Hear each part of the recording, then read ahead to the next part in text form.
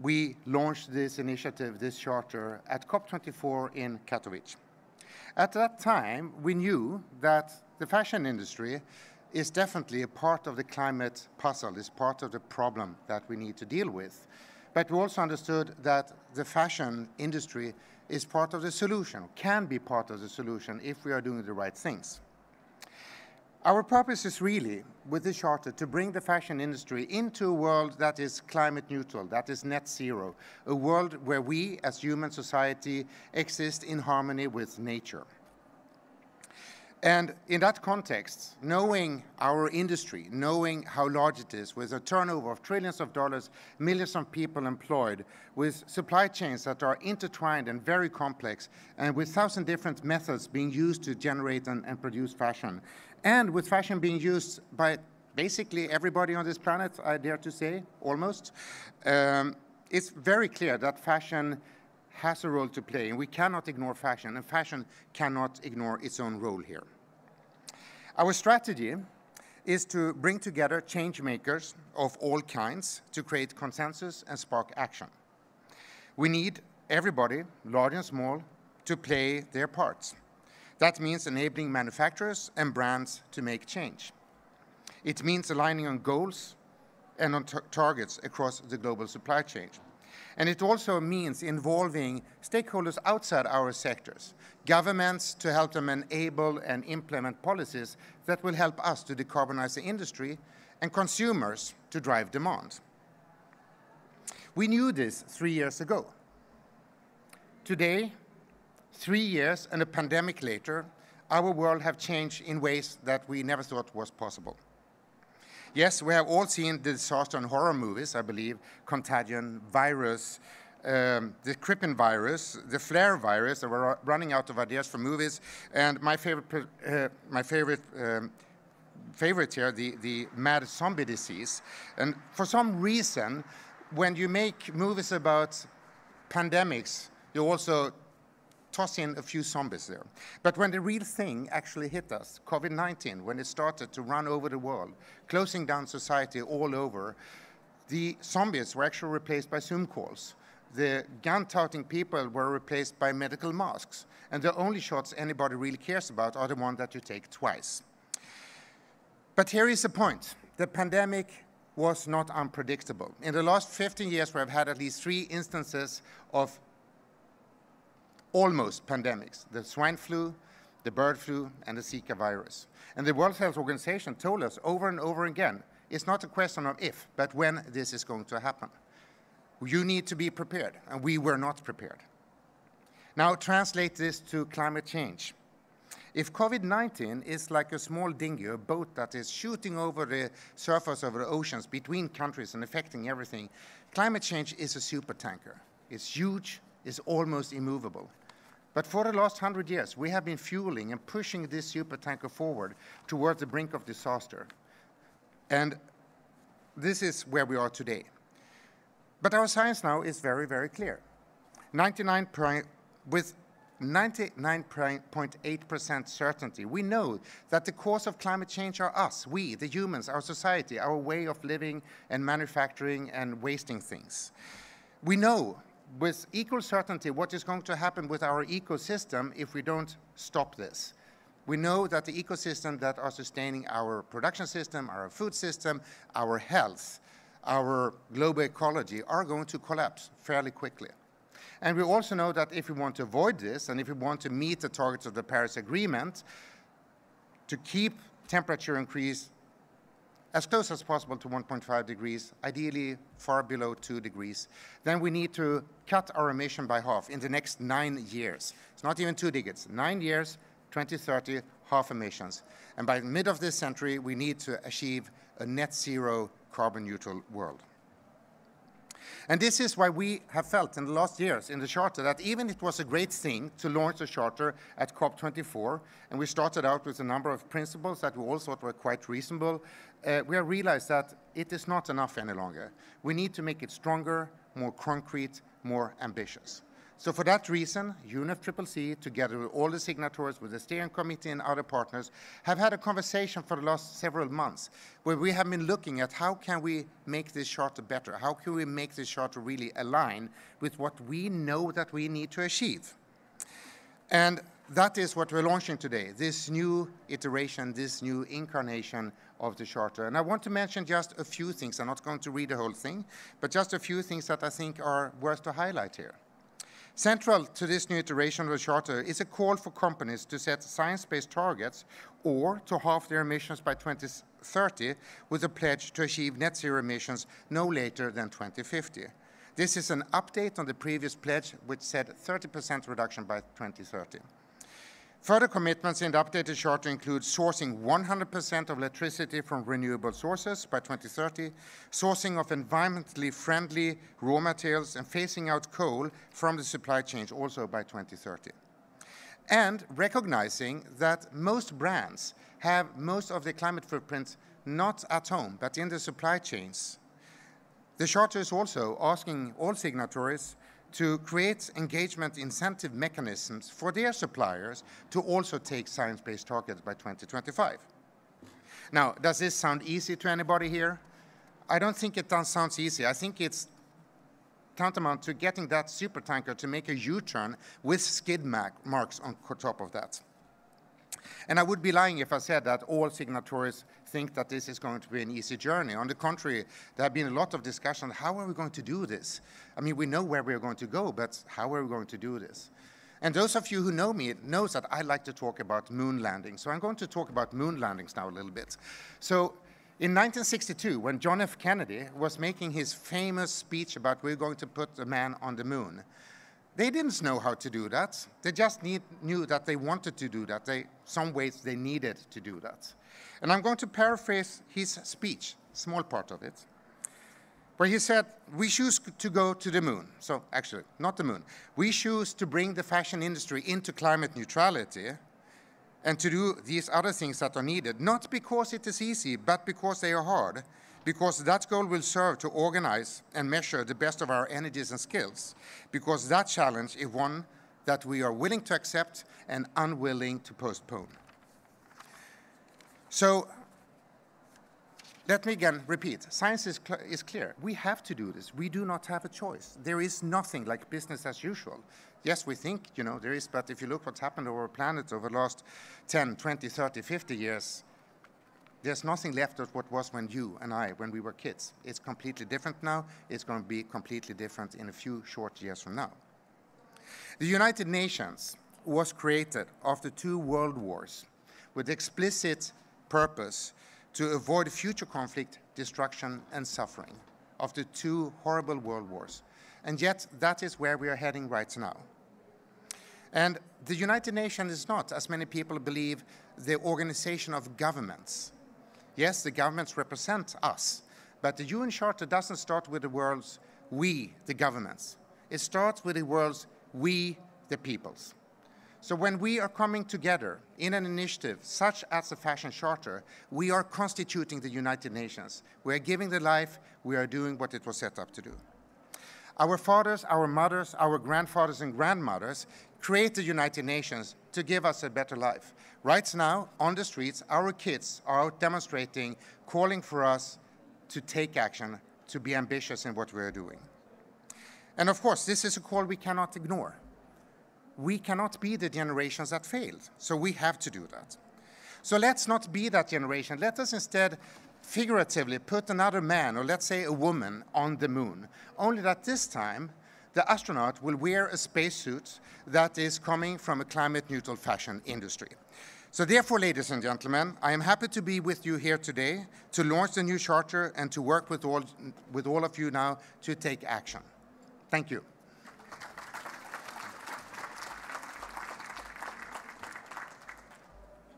Thank you, Nicholas. So what does it take um, for the industry to get to net zero? I would now like to extend a warm welcome to our speakers for the next session, industry leaders who will engage in a discussion on industry ambition and levers for change. I am delighted to welcome to the stage Mr. Björn Gulden, CEO of Puma, Ms. Elaine Valade, LVMH Group Environment Development Director, and Mr. Jerome Leblaise, Chief Supply Chain Officer from Burberry. At the same time, I hope that we do have online the following speakers, Ms. Elena Helmersson, CEO of H&M Group, Mr. Andrew Law, CEO of Crystal Group, and Dr. Delman Lee, Vice Chair of Tal Apparel. I will now hand it over to Lucy Shea from Futerra, who will facilitate this discussion.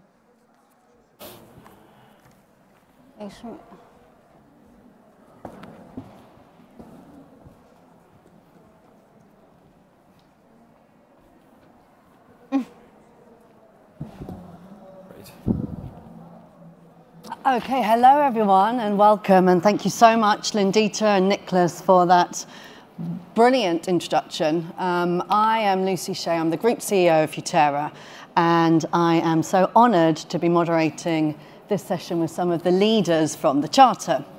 Now, um, at Futerra, we look at both the magic and the logic of sustainability in order to create change. And so picking up on some of the pieces that Nicholas talked about, what's fantastic in this new charter is the raising of ambition or a recognition of some of the ambition that we've seen from the fashion industry to truly make sure we get to net zero by 2050 by looking at the footprint of fashion, but also its brain print. And for the first time in the Charter, there is a commitment to align all messages around a 1.5 degree lifestyle as well, which is tremendously exciting. So, um, the Fashion Charter represents signatories from across the value chain and from across countries, hundreds of signatories. Um, but we are delighted to have here um, just a few of the representatives from that enormous um, constituency. Now, we've got our panel here on stage. Can we see our panel who are joining us remotely as well? And if not, we'll start with our on-stage panel and have our remote um, participants joining us shortly. Okay, so good, everyone's here. Thank you. uh, all right, so first of all, um, a question, uh, I'll start with my, uh, to my left here, around um, the new upgraded ambition, net zero by 2050. So um, can we do it? Well, I, th I, think obviously the question is less can we do it, but really is, uh, to me, are we going to be able to take the right actions to make it happen in the, in the, right, uh, in the right timing, actually? And, and I think there's a couple of things probably behind this. One being, and it has been mentioned already by Niklas, is I think we have to set bold targets which mm. are supported by science, and it starts with that really. Um, but I think we also have to make sure that we, we are extremely focused because we can't do everything at the same time. So focusing on raw materials, for example, for Burberry is uh, something extremely important. Mm. And the last one is probably collaboration, I think, which is also very key to make it, uh, to make it happen. Right. Um, and uh, I, Elena will come to you in a moment, but Jerome, while the mic is with you. Um, what about the challenges of getting there? Um, could you highlight some of the areas uh, that you're working on within your company, but also that you see for the industry at large? Yeah, no, totally. Happy to do so, actually, because I think as Burberry, we have set um, a very bold ambition of becoming uh, climate positive by 2040. And this is, this is like the big ambition we were talking about, right? But I think it's, um, it's also uh, defining some very clear milestones because it's not just about setting the goals, but it's also about defining clear, concrete actions to make this happen, right? Mm -hmm. And it's also, again, choosing where we have the biggest impact in the industry. And when it comes to Burberry, um, again, raw materials is the one that we have, we have chosen as our, one of our first battle. Um, and um, it's taking the commitment of 100% um, of traceability by 2025, for example, or using 100% of our raw materials um, either recyclable, um, recycled um, or organic cotton or certified right. uh, raw materials, right? Right, great. Okay, and everyone stick around for panel two. We're going to have more on raw materials there as well. Um, Hélène, welcome to the panel. So if I may start with the first question to you around this ambition of net, net zero by 2050, from your perspective, can we do it and how will we get there? thank you. And at first, we are very happy to join the UNFCCC Fashion Charter and to have the opportunity to participate in very concrete working groups. We are here at the COP26. We see the difficulty of the states to increase their climate commitments. Climate scientists no longer know what word to choose, urgency, disaster, uh, nightmare to describe uh, this uh, climate situation. Our own children are urging us to act, and I'm convinced companies, uh, private sector, have an important role to play, and the LVMH, which includes 75 maisons, not only in fashion and leather goods, but also in perfumes and cosmetics, wines and spirits, watch and jewelry, selective retailing, has a very ambitious policy to respond to the challenge of the climate.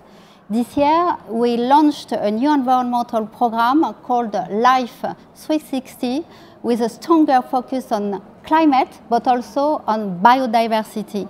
On climate, we have raised our target, mm -hmm. minus 55% CO2 emissions on scopes 1 and 2 by 2026 and minus 55 CO2 emissions on scope 3 by 2030.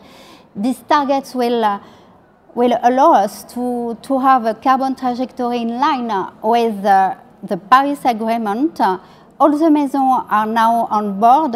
Louis Vuitton carbon trajectory, for example, has been validated uh, by SBTi. And mm -hmm. on biodiversity, we set up a target of 5 million hectares of habitat for flora and fauna preserved by 2030. That's brilliant. Thank you so much for sharing that with us. I'm going to return, uh, once I've gone to Bjorn, Hélène, I'm going to return and ask you a bit more about biodiversity and some of the solutions that we see in, in the fashion industry. Um, but for uh, Bjorn, um, I would like to uh, hear from you as well. Just in the, as a, in the first instance, this ambition of net zero by 2050. Um, how do you see us getting there, and what are some of the challenges? Well, it's obvious it's a very ambitious target, um, but I think we don't have any choice. Um, I think the good thing is I'm an old shoe dog. I've been in the industry for 30 years. What has changed is that the young generation in the industry, people who work for us, who works with the suppliers and also works with the retailers and consumers, really wants us to do. So there's a big mind change that has happened, in my opinion, of the last three, four, five years. And I think that's very, very positive.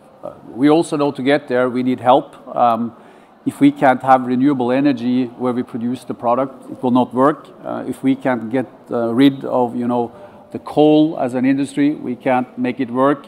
Um, and at the same time, we need to have a lot of innovation on materials to actually not use oil-based materials. Yeah. So there's a lot of challenges, uh, but I think there's a big, big change, as I said, and that is the attitude um, and not only having lighthouse projects, but actually wanting to make a change. And that's happened, as I said, over the last three, four years. Mm. Yeah. Uh, in my company, the young people are actually more demanding me on those things than anything else. So, uh, totally different situation, which is very positive. Uh, thank you so much. Um, okay, Andrew, if I can go to you next. Um, so we've heard about some of the um, changes that need to be made in the industry to address climate impacts around uh, renewables, etc. Um, what do you see? Um, where do you see the changes that need to take place in order to get us to net zero? Okay. I think you know if we look at the uh, if we look at the uh, uh, the industry. You know, I think you know, uh, I think for bigger and stronger manufacturers like us and TAL, I think you know, uh, we uh, actually I was talking to Delma earlier. You know, uh, we find it difficult, you know, to to achieve it, you know, just by ourselves. You know, difficult but possible. You know. Mm-hmm. Uh, but the issue is, uh, I think uh, there needs to be a much bigger awareness uh, you know, uh, to the supply chain, you know, because there are a lot of uh, smaller, you know, uh, less knowledgeable uh, uh, suppliers in the sustainable sustainability area that are that we need to educate. You know, I, I think that that is one of the major area that we need to do. And uh, definitely, I think right now uh, we are investigating in, uh, actually we are investigating and starting to invest in renewable uh, energy, you know, in, in our factories, you know. And uh, we, I think the, I think definitely uh, if there are more incentives available, you know, uh, for renewable energies, you know, uh, so that you know, it can uh, help to uh, decrease, to improve the returns, you know, for renewables. That would help the industry tremendously. You know, Right. I'm, I'm going to return to you on incentives uh, in the next round of questions and, and the piece on um, education and capacity raising within the industry. Uh, but first of all, Delman, over to you. So first question around this new ambition, uh, which I, as, as all of us have been working on, you know, to get um, published and launched today. Um, how will we get there from your perspective? Um, and in fact, I might go to where do you see some of the opportunities presented by this uh, more ambitious agenda? Thank you, thank you, Lucy.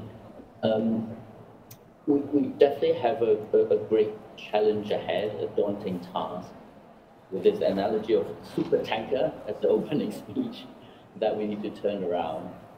And you mentioned about your thinking about sustainability that is part magic and part logic. And, and for me, there's a, there is a great logic that needs to change when we come to, to this systemic change.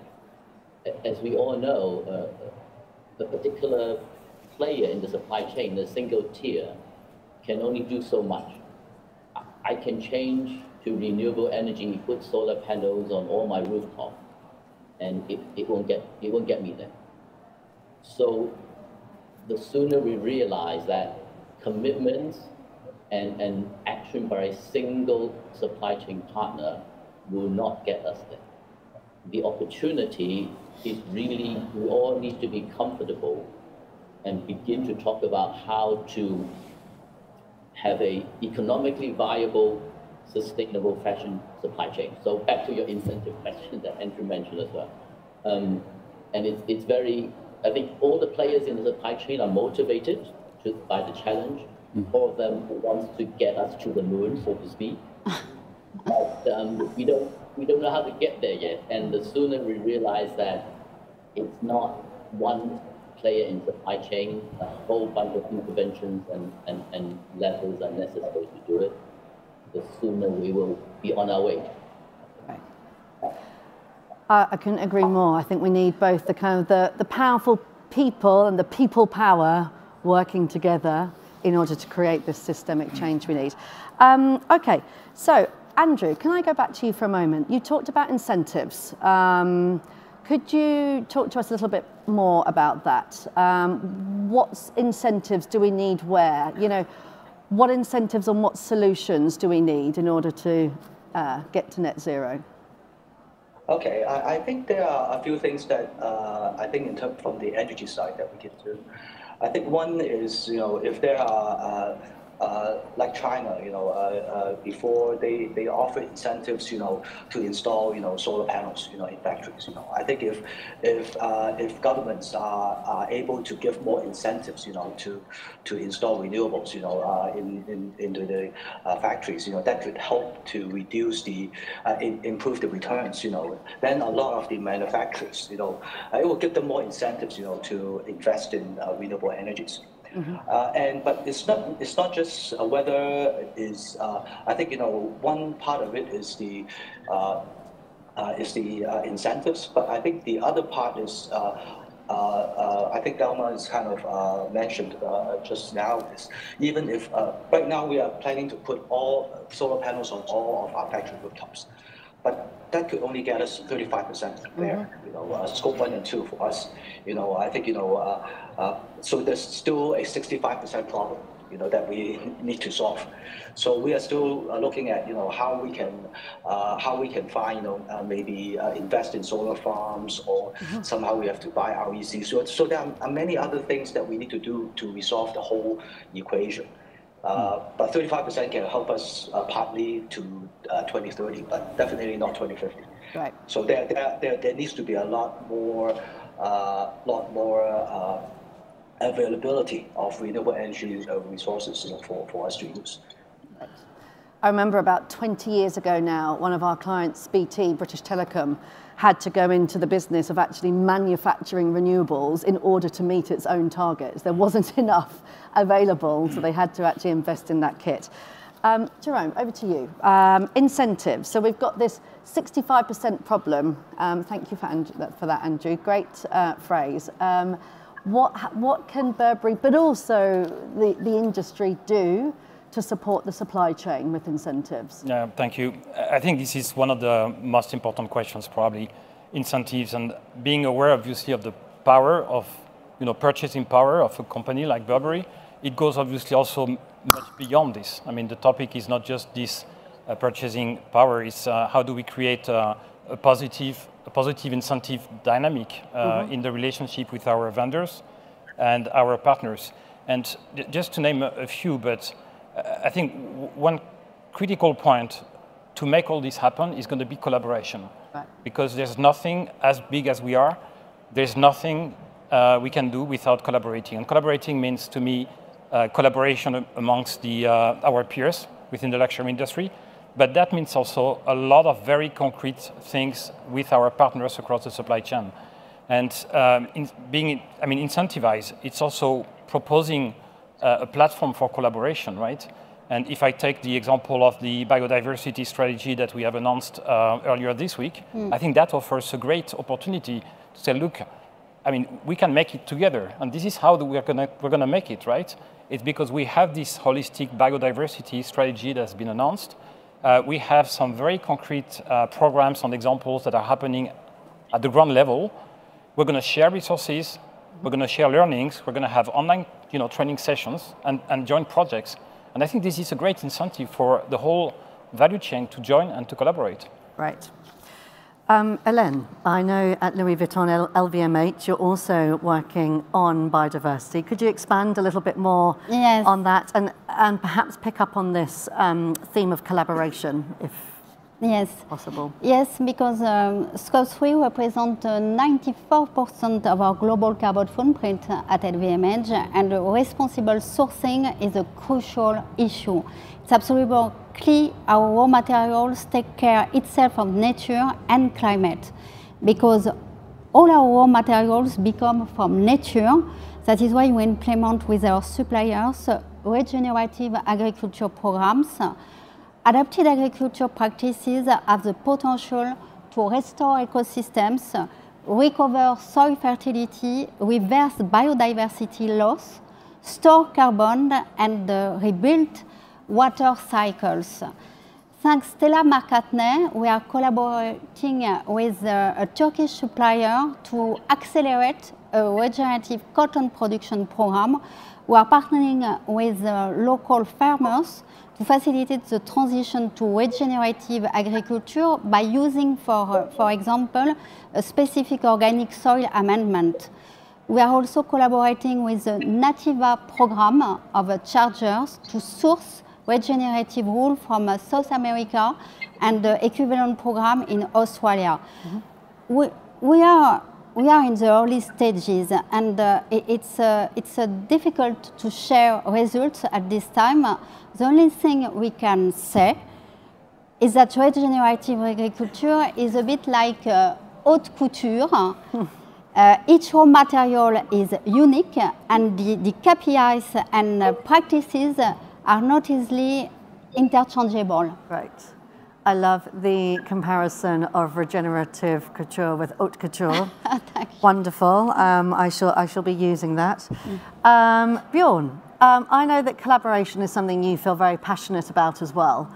Uh, where do you think, um, so we've heard about incentives, we've heard about biodiversity. Where are the biggest opportunities for collaboration in this space? Well, in the sports industry, you know, we share our supply chain. We produce uh, the same materials, we uh, manufacture with the same groups, uh, we transport uh, the product with the same freighters. Uh, so it's obvious that if we work together, we can achieve the goals much, much quicker. Um, I think on the other side, when it gets to innovation, new materials, biodegradable materials, non-oil-based materials, it's obvious that we need to put more money into the materials side to make sure that we get away from the oil-based oil materials. Mm -hmm. um, I also personally believe that circular models, you know, I mean, why shouldn't we be able to give back shoes the way we give back bottles? Mm. Today we're using a lot of recycled polyester, but it's actually coming out of plastic bottles. Why shouldn't it come out of shoes? Um, and I think those things can only work if we work together. Um, yeah. The sports industry is an extremely competitive industry, um, but I think we all understand that if we don't cooperate here, we will not uh, be champions, any of us. So.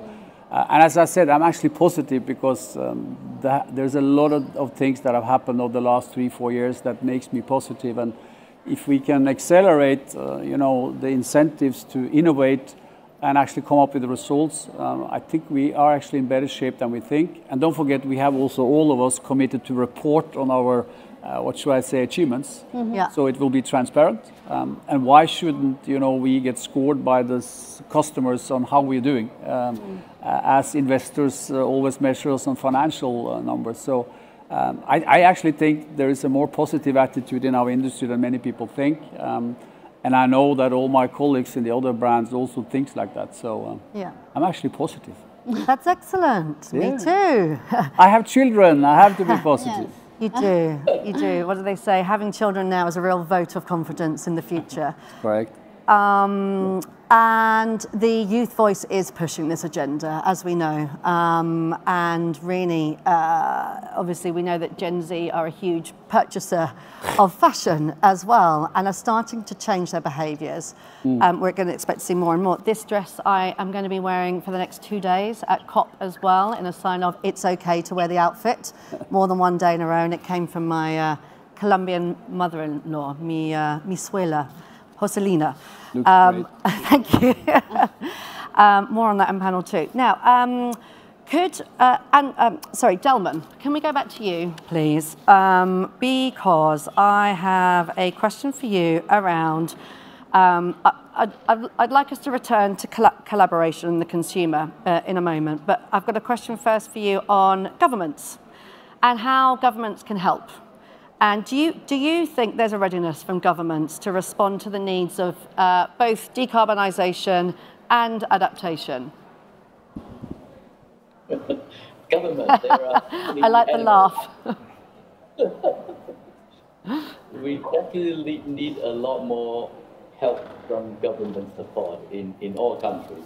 Mm. Um, in, in the consumer market, we need regulations on, on what are sustainable product, product labeling that help to be consumer know what products they're buying, mm. uh, how they're made, and hopefully they make the right choice with, with what they buy.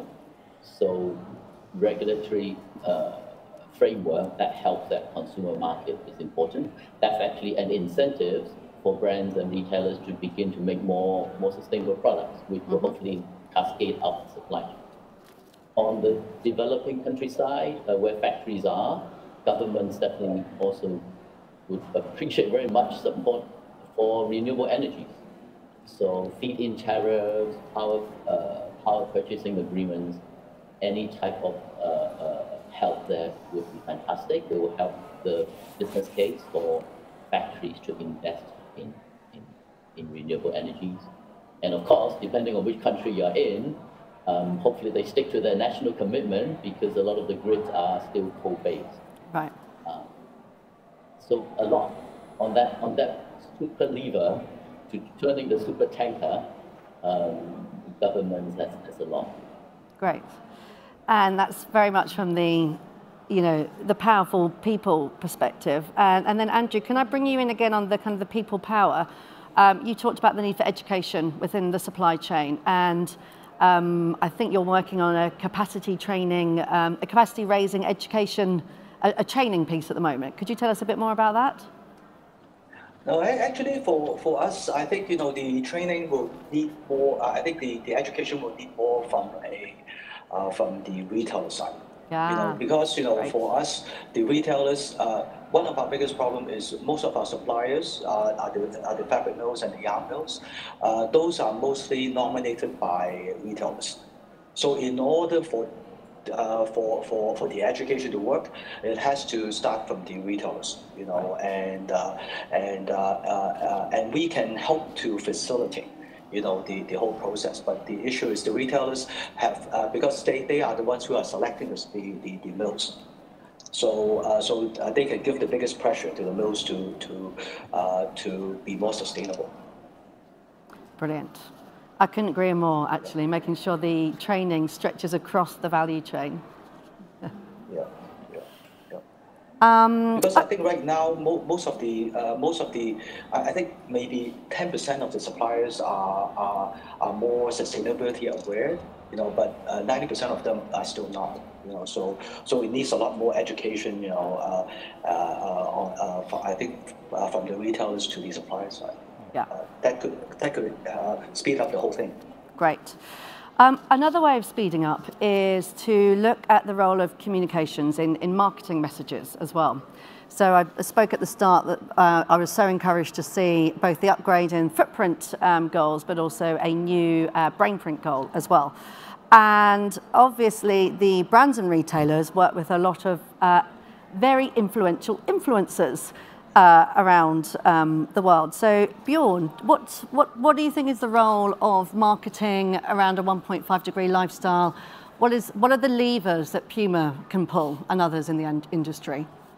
Well, we work with a lot of stars from sports, entertainment, music, and believe it or not, many of them are also very conscious about what's happening to the climate. So you will see campaigns going forward that puts that in focus. Um, it's much better if Neymar or Lewis Hamilton or whoever speaks about it than I speak about it. And I think we all have a lot of influence on people that have influence on other people again.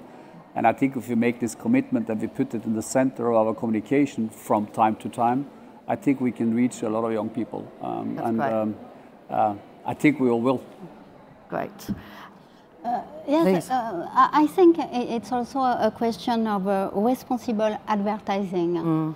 Uh, because if we want to be consistent, uh, we must promote lifestyles uh, in advertising that are more respectful of the environment. We need, uh, I'm convinced, we need to invent a new way of life that is compatible with the protection of nature. This is also our responsibility. We are working on in France and uh, maybe it, it, uh, it, will be very interesting to share uh, these results with you in the framework of uh, uh, Fashion Charter. I think so. Um, and in fact, um, Jerome, I'll come to you in a moment as well, because obviously what we've got with, with the luxury houses is such an opportunity to set what status is, to be the makers of manners. Mm. And it's in line um, with uh, a consultation um, that U United Nations Environment Programme has run over the summer with a, a, a huge amount of fashion communicators. Mm. And um, some draft guidance has been published with some more to follow next year. And it's pretty punchy, the draft guidance. You know, it's around eradicating yes. Messages of overconsumption and aligning all efforts of the 1.5 degree lifestyle. And I've always been very struck um, at the potential for behavioural placement. Mm. So as well as addressing you know, your footprint, and as well as making sure that your marketing is responsible around, and, and you're not greenwashing, and you're using the right terminology around the materials, but to think about what fashion can do to place sustainable behaviours in advertising. So whether that's cycling or whatever it may be. And I wondered, um, so you've already touched on that, Hélène, if there's anything else you want to add on that, and also, Jerome, what you see as the kind of potential for Burberry and, um, and, and these makers of manners to get us all excited about living a 1.5 degree lifestyle, that it can be better rather than, oh, I can't wear this and I can't wear that? Well, I mean, I, am personally super passionate about it, so I don't know if it's going to be enough, but I think, again, I mentioned it, um, it's set, setting those bold ambitions, I think is key. Being extremely realistic and pragmatic in terms of translating that in, term, in actions is also very important. We talked about collaboration, and I think Andrew mentioned that. I think this is an absolute condition to make it happen. We've take, taken the commitment to uh, reduce our uh, scope 3 emissions by 46% in 2030. Uh, I mean, there's no way we can do it by ourselves, right. right? Right. But I think there's another dimension because passion is about also people who make it happen, and these are our, our teams. And yeah. I think we need to move from, you know, we have those build, big targets, we have these milestones, now it's, we have to make it happen every day. Yeah. So when you design a new product, when you design a new process, when you think of a new transportation flow, and, and transportation is a big one, um, I think we need to start thinking with this prism first. Yeah. And that's how you get people excited because that becomes part of their daily life. Yes. And that you need, again, both the magic and the logic. Some of the wa- best ways we've seen of kind of driving this change is by having a very bold goal coupled up with a very strong symbol that consumers but also employees can get around, whether it's shop the collection or whether it's a behaviour change um, campaign or whatever it may be. Okay, so we've got about 11 minutes left, um, and I'd like to ask you if, if we get a chance, we'll return to some of this deep dive into the charter and how we're going to reach this um, target and what we need to do with our footprint and our brain print. Um, but we're here at COP.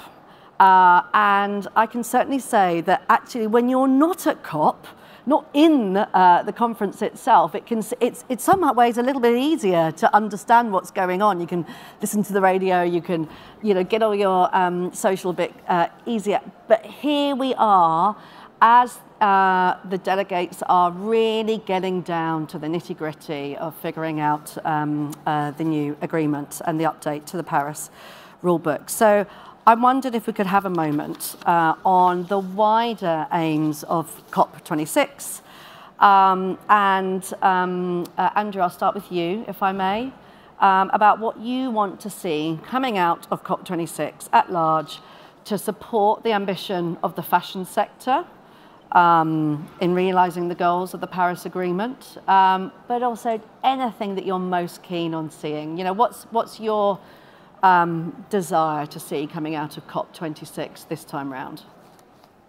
Okay, I I think you know uh, actually what I really appreciate is, is a lot of retailers have have committed you know to uh, to carbon uh, reduction you know in uh, by 2030 and then by 2050. You know, I think this is uh, this is very important. You know, having a bold goal you know is very important. You know, uh, maybe we do not have all the solutions yet, but at least we need a goal for us to set our, our plans, you know. So the next part, I think, after the goal is to have uh, really detailed plans because, you know, for us right now, uh, seeing the goal is one thing, but how to achieve it, you know, we have uh, we, we have no idea exactly how to do it. You know, we, we know how to do part of it, but not the whole thing. You know, Right. definitely we need to work a lot more with uh, our our, uh, the, our our brands and retailers. You know, on Yeah. the uh, on the plans.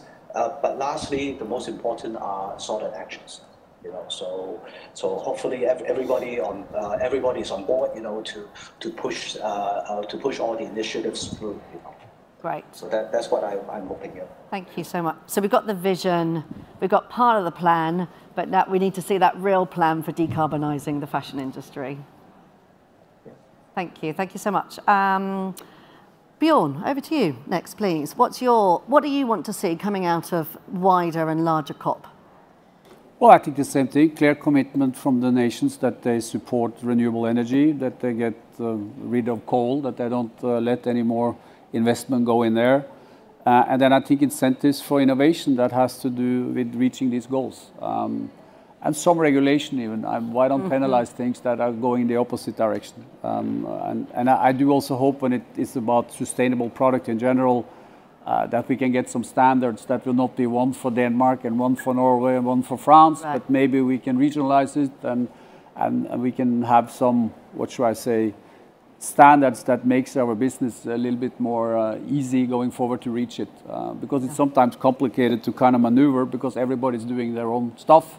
Yeah. Um, so clear commitment, uh, clear guidance, um, incentives, and some regulation would be great. That sounds great. Okay, tick, tick, tick. We've got the shopping list. Thank you very much. Welcome. uh, Hélène. And also, um, maybe I, I agree with you, uh, but also maybe robust uh, measurement. Yes. Um, about scope 3, s- scope 3. Scope 3 is uh, very important in the fashion industry, and the measurement of scope 3 is very, very imprecise. And I think it's a real limit in the relationship with several types of stakeholders, including investors. Uh, and uh, I, I hope uh, we obtain results about this uh, type of calculation of scope 3 and, and maybe we could decide within the framework of the charter to work to the, together on this subject. to establish, uh, with the help of uh, scientists, maybe a, a, measurement protocol to standardize the calculation of scope 3 in, uh, in the fashion industry. Right, some very competitive collaboration there, yes, perhaps. absolutely. Yeah. Um, just before I go to you, uh, Jerome, I'd love to pick up on this issue of um, finance investors and perhaps um, throw it open to everyone as well. Um, because I was uh, very pleased to see the, um, uh, the, the, Mark Carney-led initiative mm. to uh, redeploy trillions of dollars, um, private equity mm. mainly, from uh, coal uh, and fossil fuels to renewables. Is this enough? What do we need in the fashion industry? What do you need from investors? Is it green bonds? Is it um, funds. Um, I, I, I, it's a complex industry to get hold of the finance industry, but any call outs that you would have to finance or what we'd like to see collectively from investors and finance? So Hélène and Bjorn, if you've got anything to add, otherwise I can see I can see Delman nodding there. I might go to you, Delman. Thank you, Lucy. No um, problem. So the financial market is definitely one of the major levers. And if you're in the financial sector, I, I believe you're seeing a lot more traction on, on sustainable investment, um, uh, green loans, etc. Also, some of it coming from regulatory uh, requirement as well. So that's that's all good. Um, but I think um, that there needs to be some way of um, distinguishing sustainable companies from others. Mm. And like many things, there are multiple indexes um, in the financial market to judge whether a company is sustainable. Mm. And it would be great if those some or more than one of these indexes begin to be really um, sector specific rather than generic questions. They have ideally they should have one that is specific to apparel where they need to know what questions to ask right. in the apparel sector to distinguish a sustainable company from another. Um, and so that for me would really, really tie the dots together. So whatever we're doing now in terms of all the effort in product labeling, whether it's EU, whether it's a index of SAC, if all those work can actually be tied to financial indexes that the financial market looks at, I think that will that will partly complete the picture for me. Yeah, great, thank you. Thank you for responding there. And in terms of that uh, visibility, uh, you'll also have seen a foot perhaps that uh, Google, who's one of our clients, has really leaned into its sustainable product uh, strategy now in that now if you go onto maps for example it will automatically give you the more uh, sustainable route of getting there unless it's you know an enormous amount longer to get there by public transport rather than cars. And for different industries it's starting to show uh, the carbon impacts of flights, for example, the different flights that you choose, the carbon impacts of hotel stays, um, and it will be rolling out to things such as dishwashers and um, uh, you know, washing machines, and every industry will be looking at next. So even if it's it, that's what we'd like to see from the investors, but others will also fall into that as well. Okay, last few minutes. Jerome, on um, your ambition for COP26, what would you like to see coming out? Well, I think we are I mean, it's already great that we have this new ambition that is uh, really defining the, uh, and this is this, this, lighthouse. We talked about financing, which is absolutely key. Right. But I think what I want to, to see more and what I want to be really part of and leading, as we are doing in some, in some countries or with some producers, is concrete joint actions. Because again, I think this is how we're going to make it happen. When we are, when we are you know, uh, in a business relationship with a small supplier uh, in Australia or in uh, Mongolia for cashmere. I mean, as soon as we start partnering, partnering in a very concrete way, I think we really start making things happen. So I think providing us with the, the, frame and all the possible resources to share, I think is something that is extremely important. Great, thank you so much. And Andrew, finally to you for what you'd like to see coming out. Oh, actually, I think I already answered that. Oh, uh, sorry. yeah, it's okay. That's it. And Delman, sorry, it's for you, it's because I went to you on the investors, but if you could share your wider ambition, that would be wonderful. Thank you. Sorry, Andrew. Thank you. Um, I think at, at COP, I, am definitely very excited with the new commitments uh, coming from the Fashion Charter. But for me, there is there are many levers for, for the change, but one that I would like to highlight is, is, is the, the point about the economic viability of a sustainable fashion supply chain. How different parts of the supply chain are incentivized and motivated for the change. And you can see it in actually, if you have the time to read the Charter new commitments, you can actually see a change of language where in the past maybe you see commitments of a single company doing something by themselves. But you're beginning to see languages where a brand, for example, commit to phase out coal from its supplier base. You can see that language really, if you're a supplier and you look at it and say, oh, some of my customer is going to phase out coal from their supply chain, and it's a commitment by a certain date. That economic incentive, I think, is what has been missing from a lot of past commitments. Mm. And the realization now that the, the, the cogwheels have to join together, not just one cogwheel spinning on its own like crazy, but if the brand and supply cogwheel is linked to the supplier, where supply, sustainable suppliers are rewarded, where consumer also reward brands and, and retailers as sustainable, that's another cogwheel.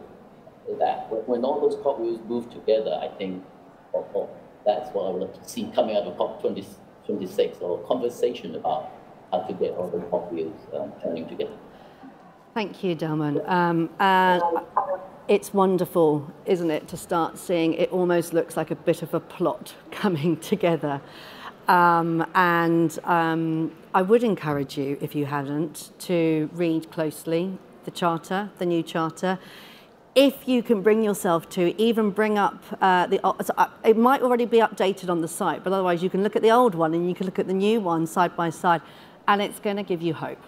It's really fantastic to see the more teeth, if you like, which are in the updated one, that from a, uh, a sketch out of ambitions, if you like, in number one, to a much more concrete set of ambition. And I, I couldn't agree more. The phase out of coal, um, the upgraded targets to bring us to net zero, um, so if you need a little bit of COP hope, uh, spend a bit of time reading the two side by side. It really is fantastic. So I want to say thank you so much to the panel. Thank you so much for dialing in, for being here, for answering um, all of these questions and having some of your own. And look forward to working with you on the coming years, uh, with all of you, to make uh, this industry um, really part of the solution. Thank you.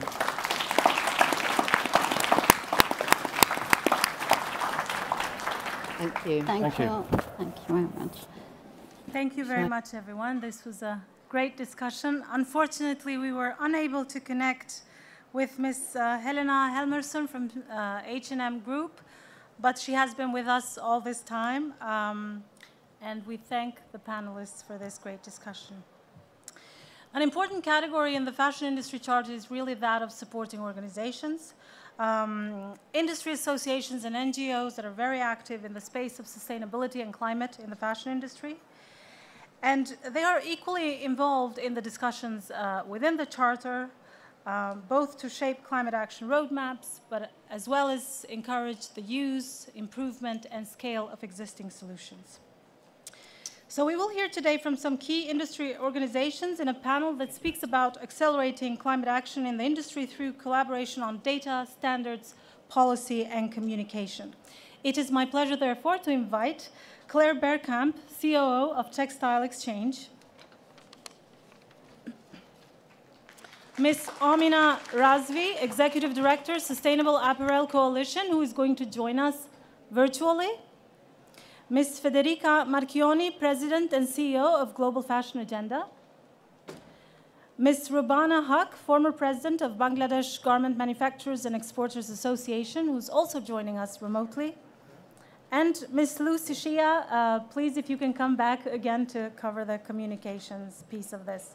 The session will be facilitated by Emily Chan, British Vogue, and uh, I would like to invite her to join the stage as well. Thank you.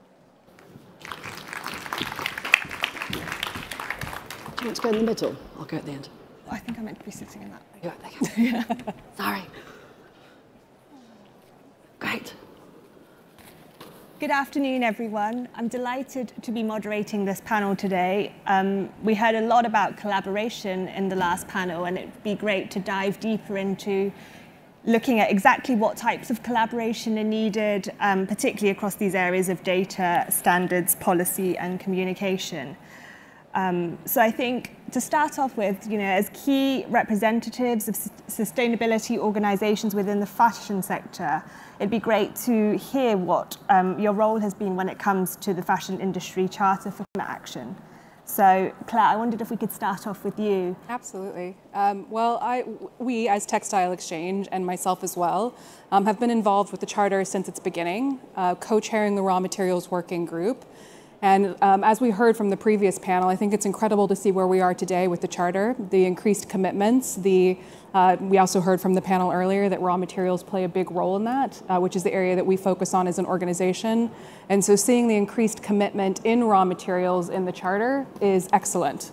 Um, that we're moving towards a 100% target, that we're looking at things like closed loop circularity, we're looking at regenerative practices, uh, deforestation and conversion free, calling out these key activities that need to occur to get us to that uh, reduction target, the overall reduction target is excellent. And so um, it's been wonderful to be involved with the charter over all these all years, and I'm really excited to see where it is today. I think another part of the charter um, updates that's nice to see is what's happened in policy. You know, and we just heard again from the other panel uh, that there's great need for incentives. And that's one of the things that we've brought to COP um, as Textile Exchange is a concrete ask uh, which we're presenting to governments, asking them really to take a serious look at unlocking change through incentivizing preferred fibers and materials, lower impact fibers and materials. So I think this is an exciting moment for the Charter um, and been very grateful to be a part of it for its whole journey. Amazing. And yeah, we'll definitely touch more upon the policy aspect um, shortly. Amina, thank you so much for joining us virtually. Um, I wondered if you could maybe talk a bit about how um, the Sustainable Apparel Coalition um, has worked on the Fashion Charter and your involvement. Thank you so much. It's wonderful to be here. The SAC is a global nonprofit multi-stakeholder, and we've been working collaboratively with over 260 organizations over the past 10 years to develop the Higg Index that offers credible sustainability data.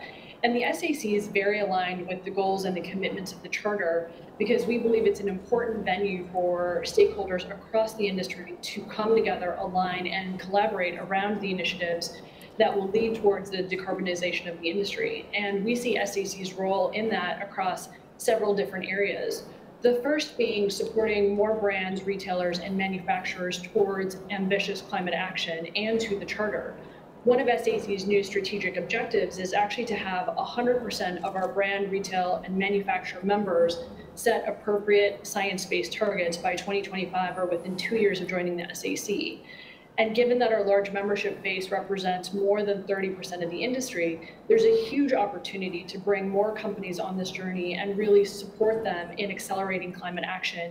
And we see the Charter as a very critical platform to help achieving this goal. We also believe that increased alignment and deeper collaboration, which we heard a lot about in the last panel, across these various you know, industry efforts is, is critical to this moment. And so through different working groups such as the decarbonization pathways, um, to uh, collective action efforts in manufacturing and policy advocacy as well as financing, we see the charter as a, uh, as a platform to really accelerating these efforts and we at the SAC are working with the charter to bring all of these various stakeholders and conversations together. Amazing. And then Federica, I wondered if I could turn next to you because I know that the Global Fashion Agenda is also working really hard to bring stakeholders together. So I wondered if you could maybe talk a bit about your, your role in that and, and in the Fashion Charter as well. Well, first of all, let me say that uh, it's exciting to be here at this specific COP because it's it's really making history, and I'm seeing that the uh, the charter is also, as uh, Lucy mentioned before, seeing the previous and the, and the current commitment uh, really gives so much hope, but not only hope because you are an optimistic, I'm an optimistic by heart, but definitely see that there is action and change. And, and uh, for Global Fashion Agenda being one of the early uh, signatories uh, at the beginning, believing in this charter and helping in the way we can. As Global Fashion Agenda, we have a platform where uh, we help convene and mobilize the industry to take action. And so it was, uh, it, it, was in our um, stage at the Global Fashion Summit uh, that uh, we host as Global Fashion Agenda organized. The summit is the uh, world uh, largest event on sustainability in fashion. We were actually creating the, the summit as a side event uh, after COP15, uh, when at that time there were no conversation about uh, fa the fashion industry. So uh, it was for us an opportunity to then uh, engage uh, with the charter.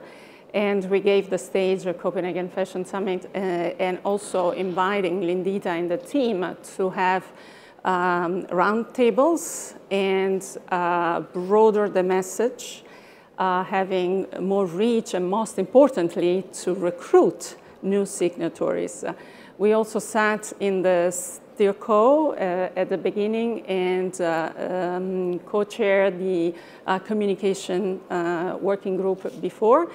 And recently the, the GFA team spoke to the signatory about the Fashion on Climate report uh, that we made. So we're very excited about the work of the Charter and the action it's taking.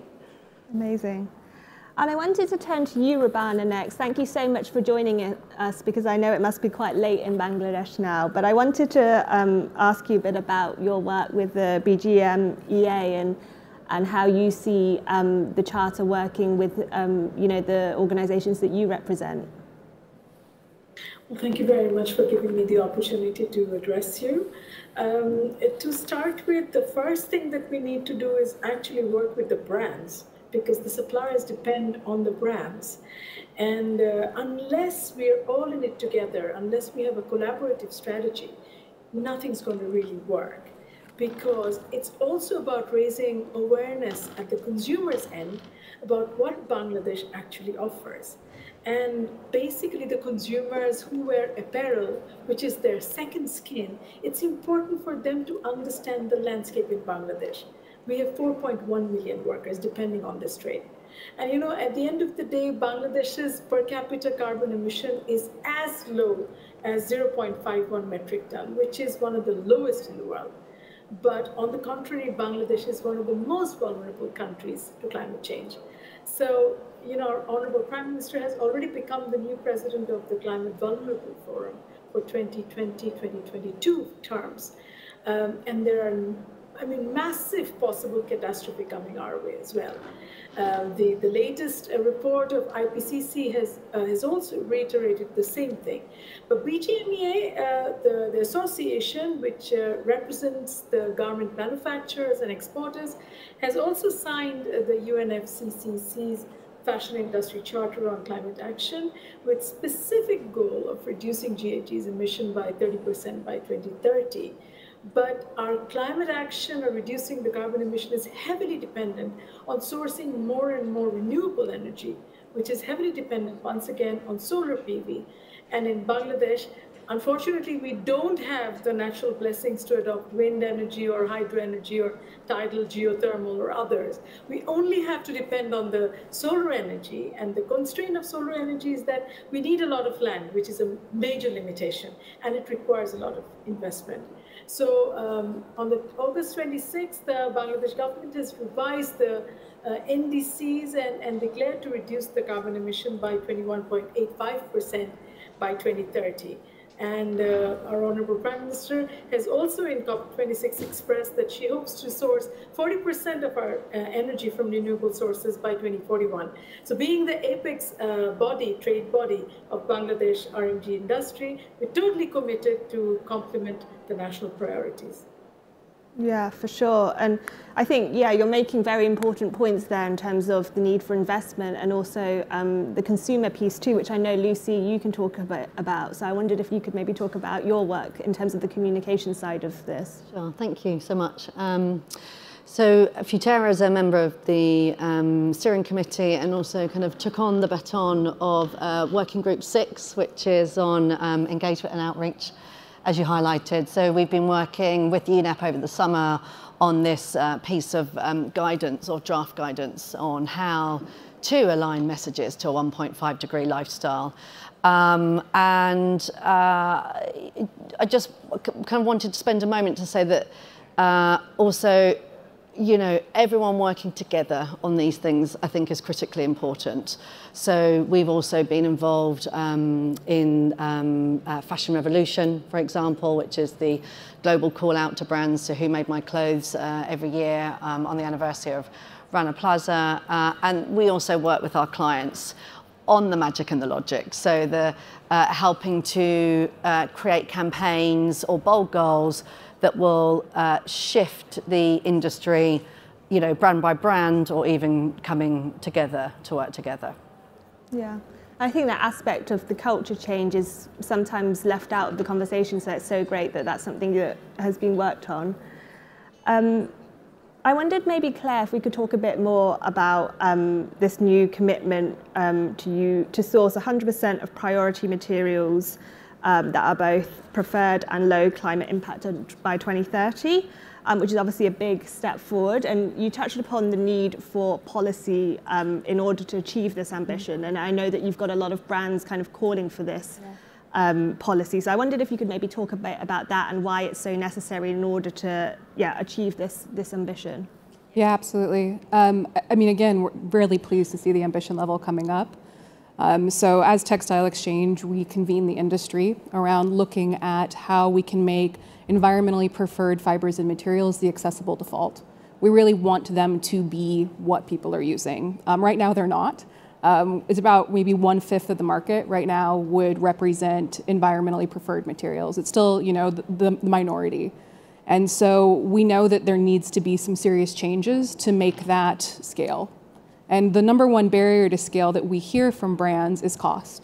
Um, cost is one of the barriers to using more sustainable fibers and materials, lower impact fibers and materials. And that's why we did pull together this request to governments that we're presenting. It's backed by over 50 uh, supporting organizations, some of our friends here, um, which, you know, this idea of collaboration is absolutely critical. So how we, as conveners of the industry, can come together to consolidate and, you know, push for concrete actions such as this as well as uh, brands and suppliers. And so what we're really asking is for governments to look at how they can reduce trade tariffs, uh, trade tariffs uh, to remove the barrier to help level the playing field. It's a really tangible action that we think could really unlock scale. It also is important, um, we think, as, a, as an action because it doesn't put any reduction of cost onto the farmer, onto the supply chain. You know, we work a lot with farmers in the raw material space, and you know what we don't want to see is that yes, this costs too much, but we're going to put that reduction of cost on a cotton farmer. Um, this is a way to reduce, reduce and remove a cost barrier without negatively influencing the supply chain, which is absolutely critical. And I think you know it's very important that we keep that in our sights. You know, brands. You know, we've heard it before. We just heard it again. Brands play an incredibly important role in making this change happen. Uh, but it's going to require coordinated efforts across the entire value network, you know, including farmers, and really looking at how we can incentivize action in a way that uh, doesn't put more undue burden on those that are most vulnerable in our supply chains. Yeah, I think that's such an important point. Um, and Amina, I wanted to turn to you next to talk about the role of the SAC in um, you know, driving collaboration and accelerating this change that we need across the industry. And I wondered, what do you see as being the, the next most important steps when it comes to this? Sure. I mean, there's a you know there's a couple of things I want to echo a little bit of what Claire is saying and how you know swift, courageous, and meaningful policy change is absolutely necessary to really remove current barriers to scaling existing proven solutions. And that's so critically important, and collaboration is key to that because unless we can actually scale existing pr proven solutions, we're, we're not going to be able to achieve this, these ambitious goals that we've set. You know, more than 50% of the reduction that we know is needed comes from existing solutions such as energy efficiency or preferred materials. So, so we know what work needs to be done to move us towards this target.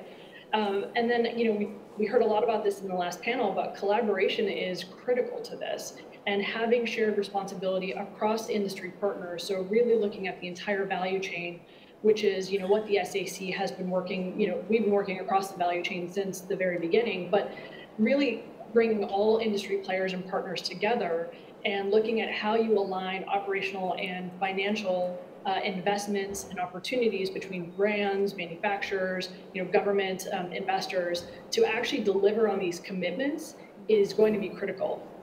And then this was touched on a little bit last time in the last panel, but unlocking the, the capabilities and the financing that's required for a low carbon transition, you know, unless we can actually really connect the dots um, and build those stronger partnerships versus the, the transactional relationships that we've had historically across the value chain, we're not going to be able to, to move this work forward.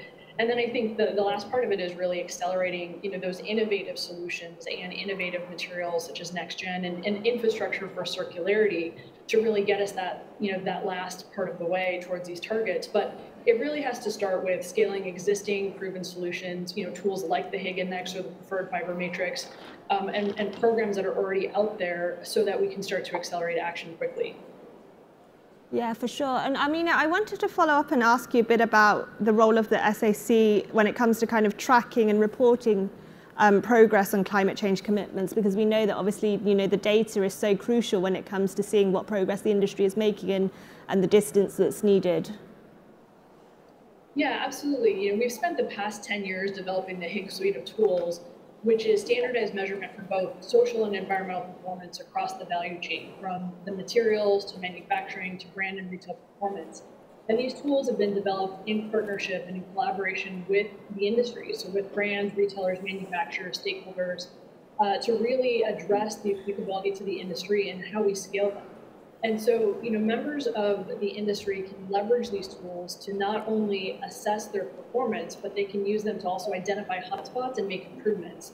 And we work with third parties to verify the data. So an example of that would be the Higg Facility Environmental Module, which allows facilities to, to assess and report on their performance. And this is adopted by over 15,000 facilities every year.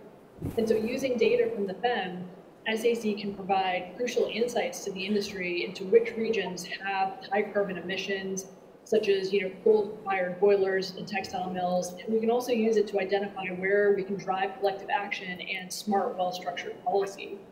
So, you know, I think that there is a huge role for the SAC and our members to play in terms of not only actually leveraging this data, but also actually starting to track this data and report on progress over time um, around scope three emissions as well as progress towards science-based targets. In the next year, we're actually going to be developing a carbon tracking tool that will allow member companies in the industry to really focus on uh, scope three and supporting them, companies in actually tracking uh, progress towards their science-based targets, leveraging the Index tools.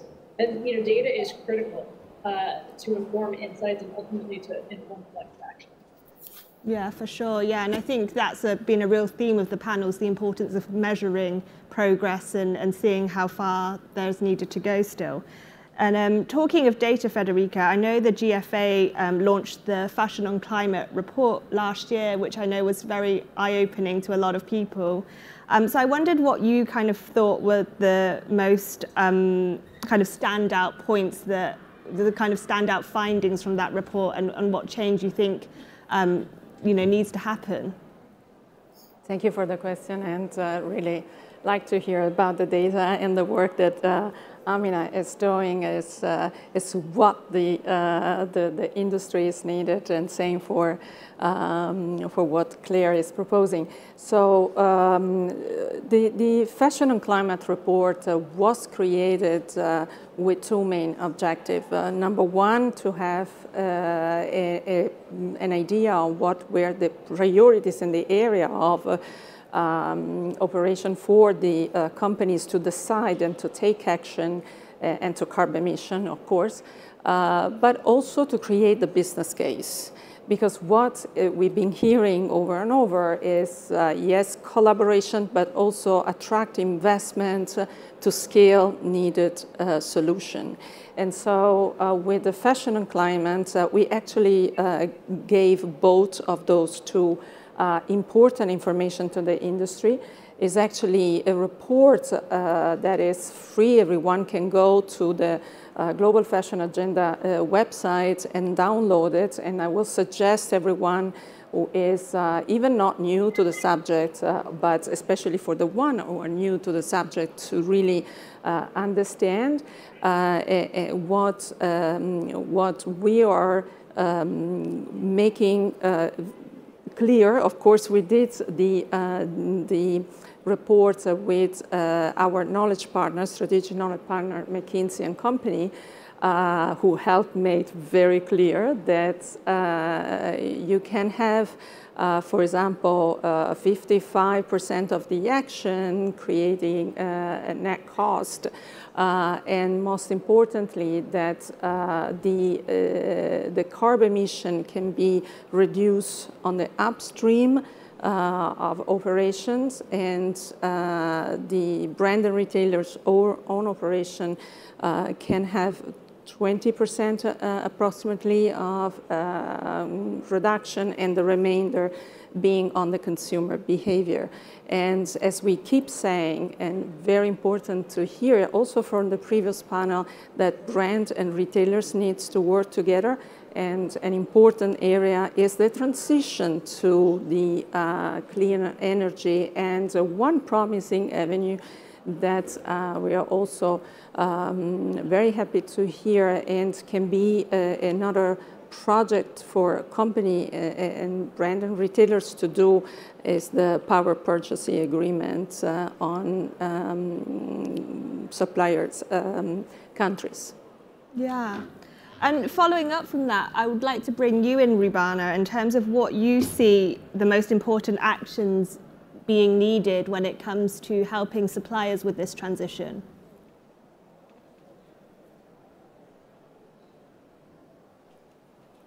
Rubana's on mute. I think you might be on mute.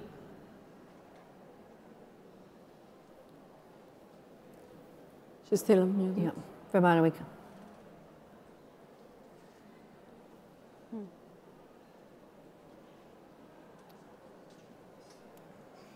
don't know if we can. You're muted? No, I think she's unmuted and it's still. Um, okay, we'll come back to you on that question. Yeah. Um, I wondered, uh, we've got about four minutes left, so I wondered if there are any questions from the floor while we try and sort out the technical difficulties.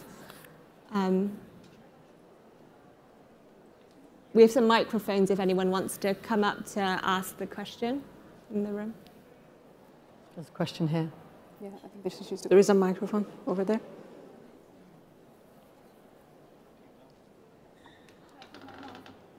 Yes. Hi, so uh, it was lovely to hear from all of you, especially regarding environmental data, which is clearly very needed in the fashion industry. One thing we've not really heard about is growth, both from a financial perspective and in terms of production, because we know that the fashion industry has massively increased from in terms of its financial profits as well as in terms of production. So I just wanted to hear from your perspective what the fashion industry needs to do because ultimately it cannot keep growing at the same rate in order to be sustainable. Thank you. Can I take the answer? Can I take the question? Yeah, of course. Because thank you for your question. This is actually what we are starting to uh, say to the industry in our latest summit. Uh, if you go online and, and really try to, uh, to learn also there, we call the summit prosperity versus growth.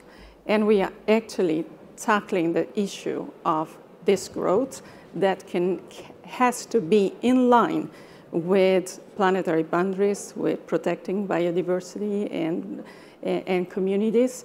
So absolutely, uh, growth is something that has to be discussed, and you will see that we are normally at GFA, the one that it's a thought leadership mm, uh, summit, so forum, and so we initiate a conversation like this. We already started last year, but it will be a team that will be uh, very much tackle. What we asked is to change business model and to have and to reach a true systemic change to get to uh, pros prosperity. Can I add? You go. Uh, just one other quick thing I would add to that is that in all of the modeling that we did, looking at uh, you know pre-spin fibers and materials, there's three levers that all have to get pulled to achieve the reduction that we need and stay within the 1.5 degree pathway. One is scaling existing solutions and preferred fibers and materials, which we've heard about a lot, and that is very important. We need to scale what we know works. We need to invest in innovation. We need to invest in things like regenerative agriculture because there is an innovation gap.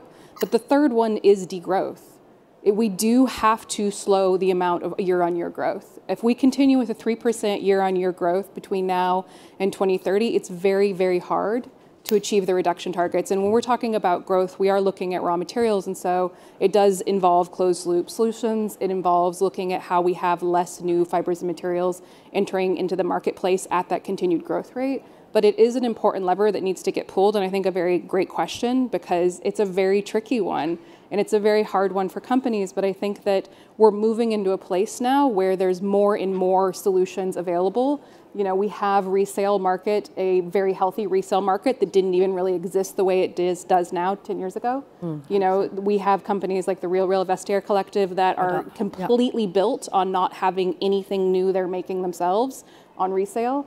It's, you know, it's an exciting moment. And so while this idea of kind of decoupling growth um, from resource extraction and this idea of bringing prosperity back in instead of just economic year-on-year growth and focusing on GDP is very scary. It's also very necessary, and I think this is the moment to have that conversation. No wonder why the buzzword today is circular economy. Yeah. And have a read of Aja Barber's Consumed. It's absolutely brilliant. Yeah. Um, I, I see that Rubana's back there. Oh. Yeah, Rebecca, yeah, I'm back, oh, I'm back. That's great. Do you exactly. want to chime in on that question in terms of what um, we need to see in terms of how we can help suppliers with this transition? Yeah, I think you know there's a lot of emphasis in the charter about incentivizing and collaboration. So there are two areas that uh, the charter can help the industry. It's through uh, collaborating on technology and finance, because you see.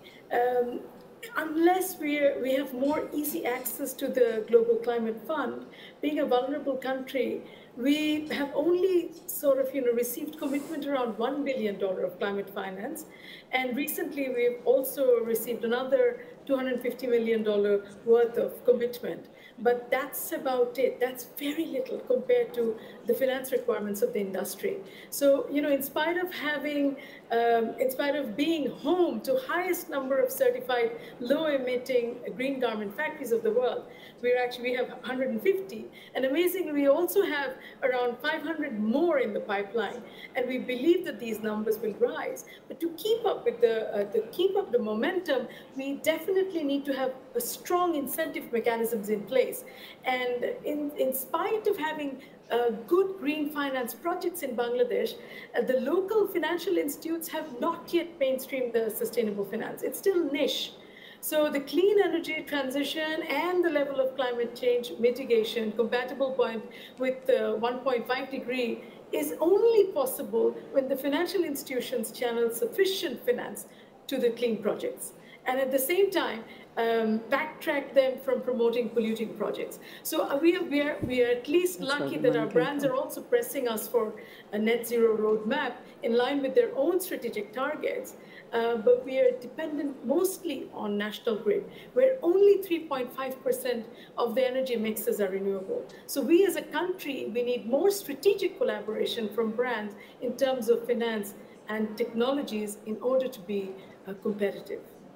Yeah, and I think that's a really clear um, and concrete sense of what we need next. Um, and I wondered, are there any more questions from the floor? I think he's yelling at us. I don't think we have more time. Oh, sorry. Okay, sorry. Well, well um, we'll close with uh, maybe a final remark then from um, each of our panelists on what, what steps you would like to see next to accelerate change in this industry.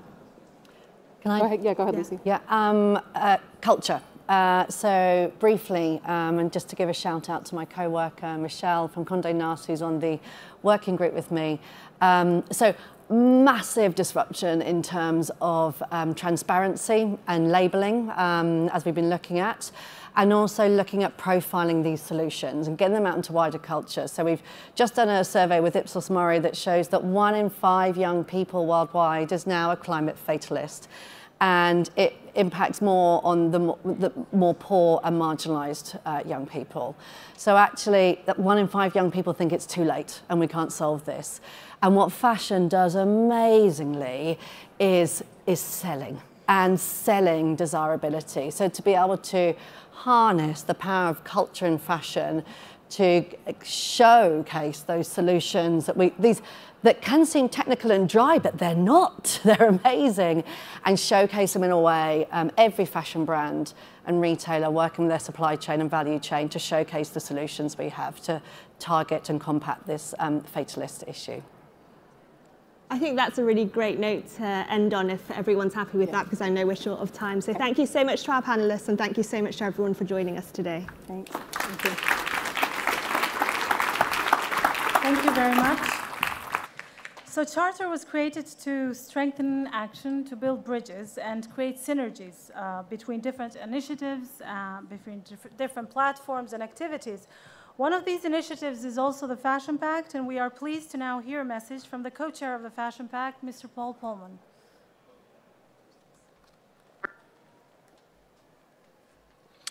Well, hello everybody. I'm Paul Polman, the chairman of Imagine and the co-chair of the Fashion Pact, and I'm glad I have this opportunity to address you today as we get together to look at the fashion industry, a very important industry within the overall global economy.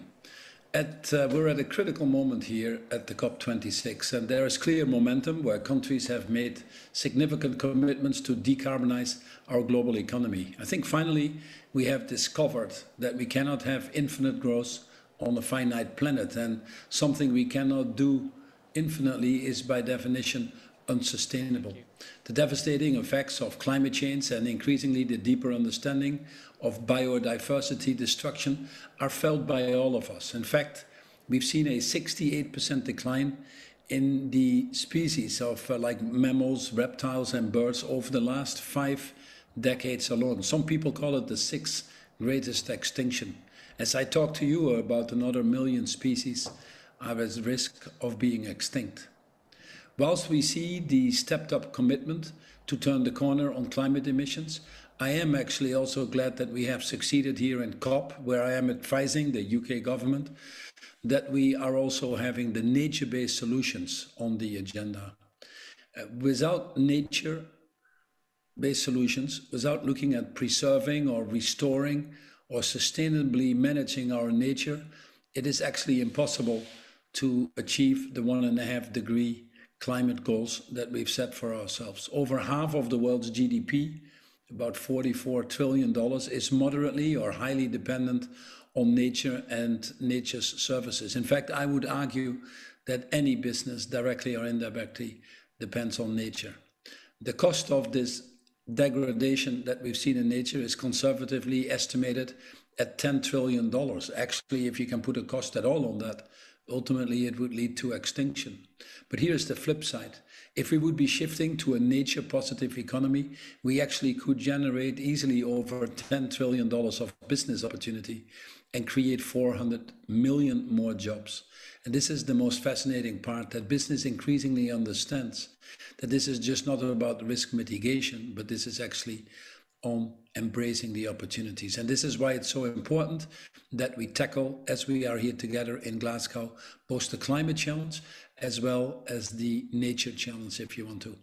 We need to pivot to what I call a do less harm or become a net positive, regenerative, restorative company. World Overshoot Day this year was July 29th, which is the day that we use up more resources than the world can replenish. In fact, after that day, every day after, we're actually stealing from future generations. So being less bad or being just sustainable, neither good nor bad, is simply not good enough anymore. We do have to move to an economy that is net positive, that is regenerative, restorative. And this increasingly more and more people understand. Over one third of the cost uh, uh, effective emission reductions between now and 2030 actually have to come from nature-based solutions. Yet they currently attract only about 3% of global financing. A study found that uh, recent study that if we want to keep the one and a half degrees alive, it is actually imperative that we work on attacking and reversing the nature loss. Now, the good thing is that people are starting to act. We've seen the incredible efforts uh, here over the last uh, few days in Glasgow. Some of the examples that I could mention is, is, for example, the Glasgow Declaration on Forest and Land Use, where 114 countries uh, have committed to end deforestation. We see the Glasgow Forest Finance Pledge to provide finance and support the indigenous people, who, by the way, protect 80% of our nature and help them and their communities in, in the protection of the forest. We had the Regen 10 initiative that I was able to launch with the heads of state uh, last week, where we talk about livelihoods of smallholder farmers and indigenous people and moving to regenerative agricultural practices. So many things are moving here, and we're starting to integrate nature based solutions as part of the overall solution of tackling climate change. But it's very clear that a lot of it is talk and a lot of it is commitment, but that we now need to move into concrete action. Policymakers are starting to work on that. And uh, increasingly, the financial market is waking up to that. Your employees in your company, your customers are all expecting it. And, and good companies understand that. There are some issues that we're working that might get in the way at governmental level uh, not least the 700 billion of farming uh, subsidies that are out there that actually work perversely on our need to protect our forests and fishery and natural habitat. So these things are being a commitment to want to tackle these issues. In fact, it's affecting their business model already today on a daily basis, but they're just not able to get to these really systemic changes by working alone. And this is where the partnership is so important in order to solve the bigger solutions of today and tomorrow we cannot do that at the level that these issues have been created. We really need to flip out of that and start to work in radical collaboration around some of these issues, which I call the future for humanity. And, and frankly, these are issues we should not compete on. So President Macron in France, at the time that he asked me to help him put the G7 together, decided to focus on tipping points. And one of the industries amongst many that we picked was the fashion industry. Not surprising to any of you, given the enormous role that the fashion industry plays in in the global economy, uh, not least in employment, not least in creating trends and consumer ideas and perceptions, but also for its pure uh, economic force. Now, until now that has equally uh, uh, resulted, like uh, many of the other industries, in a pattern of production and consumption that is clearly unsustainable. Plastics in the oceans, deforestation of our natural habitat, carbon emission, labor standards that are still insufficient. So that's why I'm glad that uh, the Fashion Pact was formed. The Fashion Pact is a CEO led coalition where we bring a critical mass of CEOs together across the value chain to tackle these broader issues of humanity that are in the interest of the whole industry. In a relatively short period of time, we've been able to pull together 76 of the world's leading fashion companies, over 250 brands, and as I said, with representation across the value chain. These are responsible, forward thinking companies that understand that in order for their business models to continue to thrive, they have to move to a net positive um, thinking and, and uh, starting to implement that in their own business models. Now, that's obviously not easy. Fortunately, we could start with a grant that Imagine had uh, obtained from the Global Environmental Fund to work with Conservation International and start to integrate nature based targets into the business models. And this has been a breakthrough. I think this is the first industry that at scale is actually looking at joint actions to make nature part of the solution and not part of the problem. But the coalition has gone further. It has looked at the opportunities to accelerate the implementation of decarbonization plans definitely made a commitment to be at one and a half degrees by 2050, but also significant reductions by 2030, all science based. and most importantly, looking at the broader issues, in this case, like plastic pollution as well, and seeing if in the B2B and B2C areas there are significant opportunities to reduce uh, plastic loss. The interesting thing is that in all these projects, we can make significant improvements without really affecting the bottom line. In fact, I would argue that it's the opposite. If companies go together and focus on these areas and do it well, it actually makes your company more resilient. But as we've seen in many other industries that we are working, it can also uh, immediately result in a, benefit to uh, the bottom line and ultimately the shareholders as well.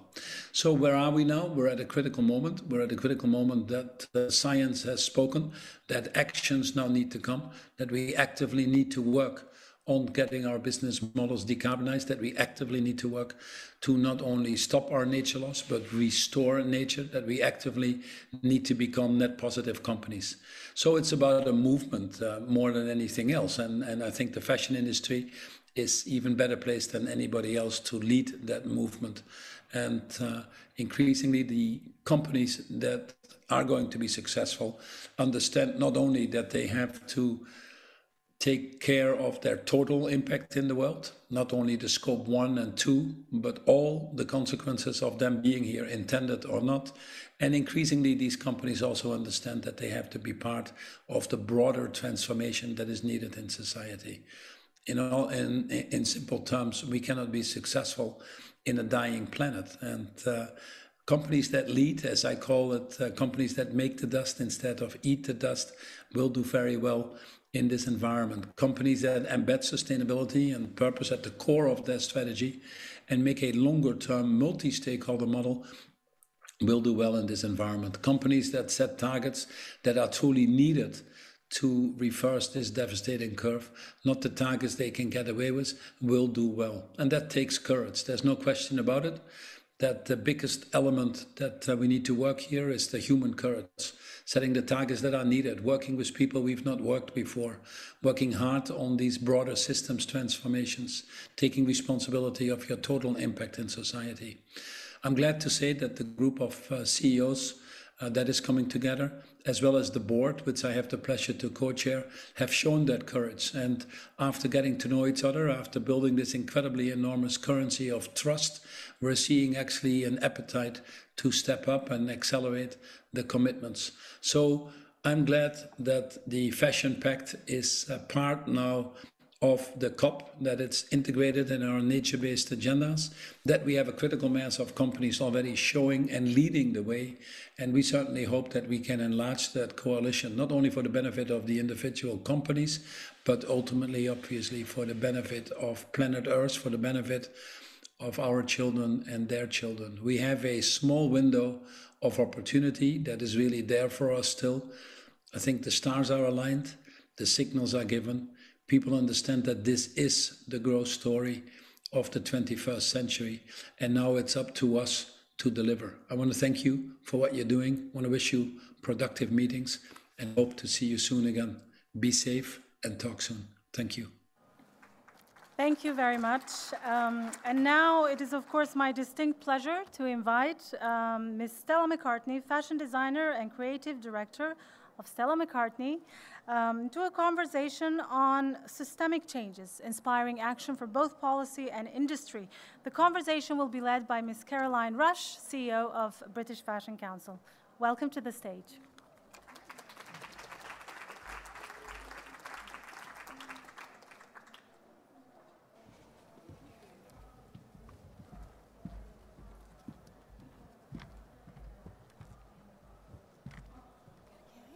Feel like um, Paul just said everything, and we could all just go home early if you want, essentially. I know, we said is that Paul Polman's quite a hard act to follow. There's a lot of ground covered there, as there has been this afternoon with some brilliant conversations and some great speakers. Um, I'm going to get straight into it because uh, we don't have a lot of time, actually. Um, there have been some really key themes that have come out of the conversations this afternoon. Um, you have been at the forefront of change and a challenger in the industry since the inception of your business. So love to know your perception on some of the conversations that we've had. Um, there's been a lot of talk about collaboration, uh, how as industry we've got to pull together, and obviously the UNFCCC Fashion Charter is a fantastic example of that, as is the G7 Fashion Pact as is the SMI Terra Carta that I know that you were involved with earlier in the week.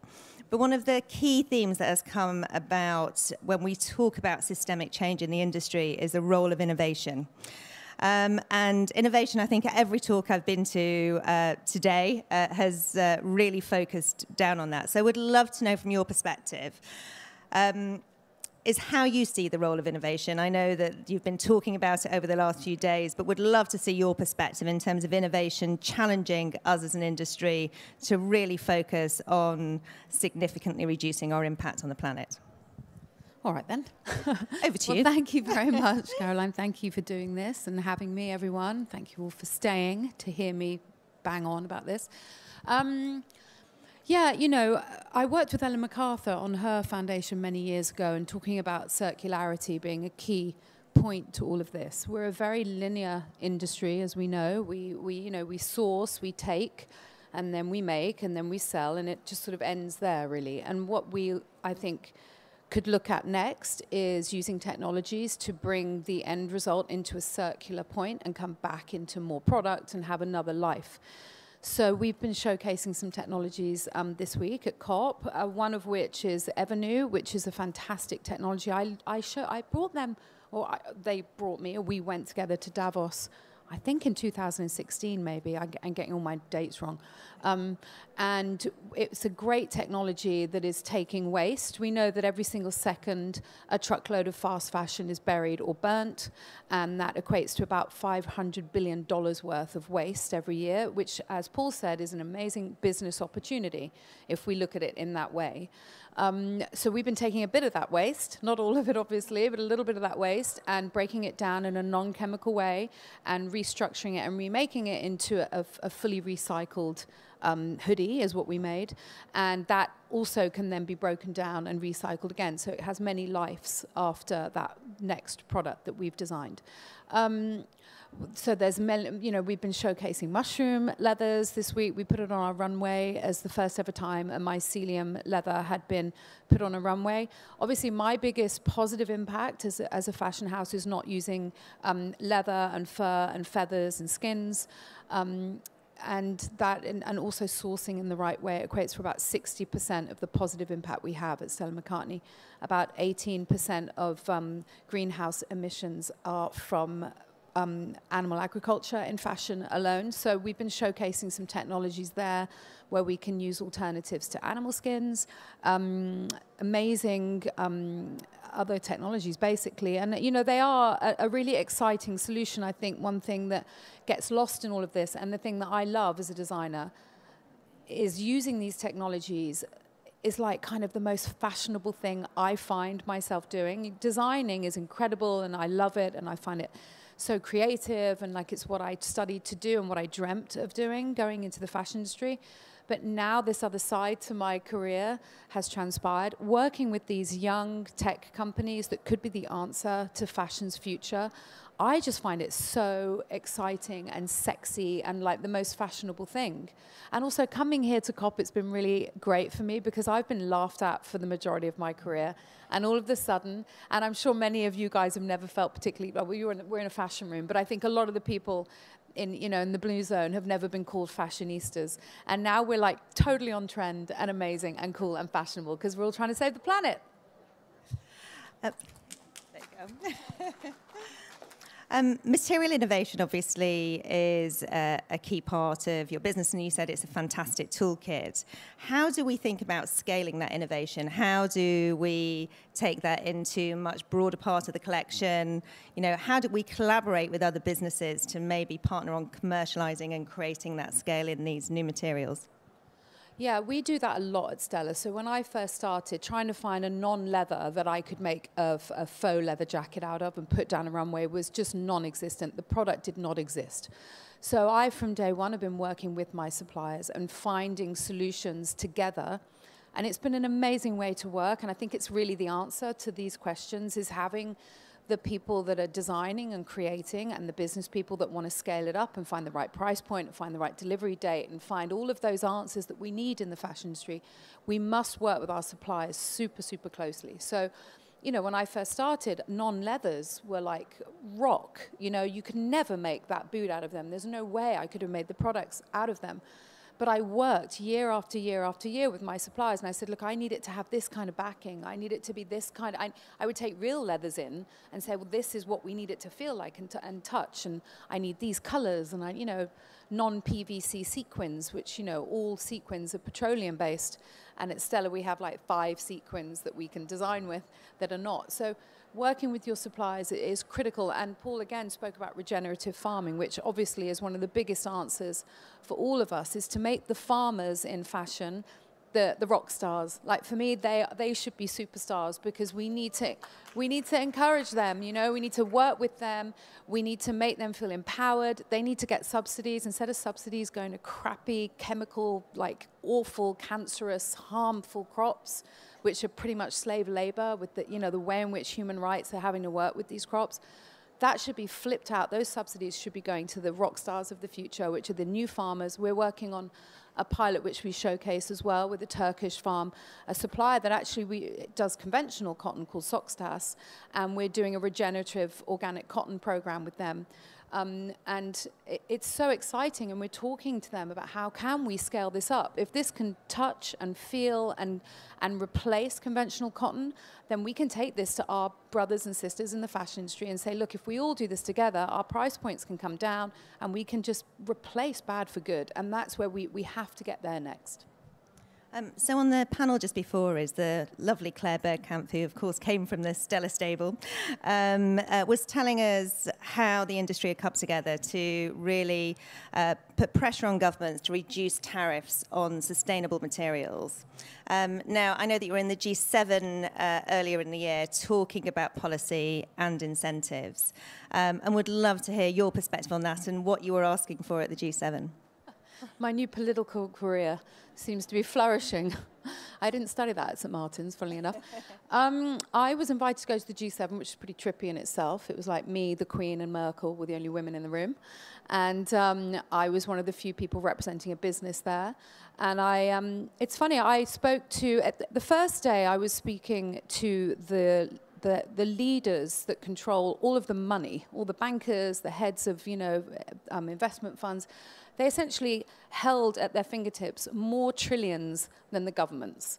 And they were begging for solutions. They were like, our investors, nobody, nobody wants to invest in dirty business. You know, they have a problem. I was so nervous going into the G7. I called my dad and I was like, Dad, guess what I'm doing tomorrow? He was like, what are you doing? I'm going to the G7. He was like, I was like, I'm so nervous. And he said, no, Stella, they're the ones with the problem. Like, that they have a problem and you have some solutions. So it gave me a tiny bit of confidence, but not that much. Um, and I realized on the first day that these, you know, the, these guys predominantly had a problem, and we all want to invest in clean, right? That we, we have to. It's, it's the only way now. And so then I went, I was talking to the leaders, and it was, it was fascinating because I was telling John Kerry and Biden and Macron, all these people that what I face on a daily basis trying to work in a more sustainable way in fashion. Firstly, they can't believe we're one of the most harmful industries in the world to the environment. It's like a shock to them. I think that on their agenda are all of these other obvious industries, but every single touch point that the obvious industries have, we tap into as a fashion industry. So we're using petroleum, we're using energy, we're taking from the soil and not putting nutrients back in, let alone cutting down rainforests for bags and shoes. Like we are part of every part of that conversation. And so I just made, I, I sort of told them all off a bit and tried to make them all aware that, you know, when I take a non-leather product into America, for example, I get hit with a 30% tax. Um, as opposed to if I put a slither of pig leather onto the same product, the tax disappears.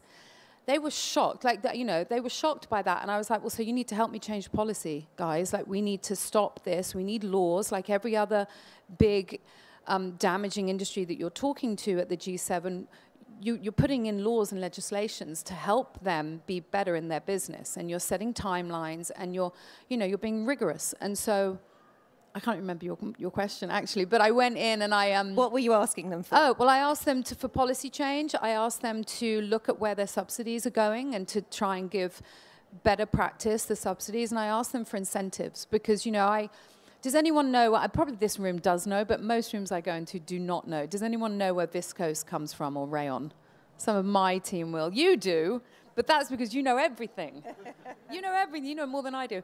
Anyway, it comes from trees. So it cuts down around 150 million trees a year for fashion. And those trees are just cut down. There's no replanting. So we at Stella for three years took our time, our money, our resources, and we found a sustainable forest in Sweden where we cut down the tree, but we replant the tree. So it's a sustainable viscose. Now that's not rocket science. That should be a law, I think. I think if I can do that, I should be incentivized to do that. The people that work with me should be incentivized to do that. And we should also then, once an example is, is made and found, that should become some kind of legislation that the, the dirty alternative is no longer legal. Or there should be a penalty attached to it if you use it. Yeah, we've been um, hosting a series of roundtables with the Council for Sustainable Business and um, both British and European brands to start looking at policy and incentives. Um, and it's really interesting because there's some very common themes that come through. Tariffs, obviously, but incentives. So policy's there, isn't it, to really think about how it can aid business, but also how it can get business in line. But incentives quite often are easier to put in place. They're quicker than getting policy through, which we know is challenging, um, and can drive the right kind of business behaviors.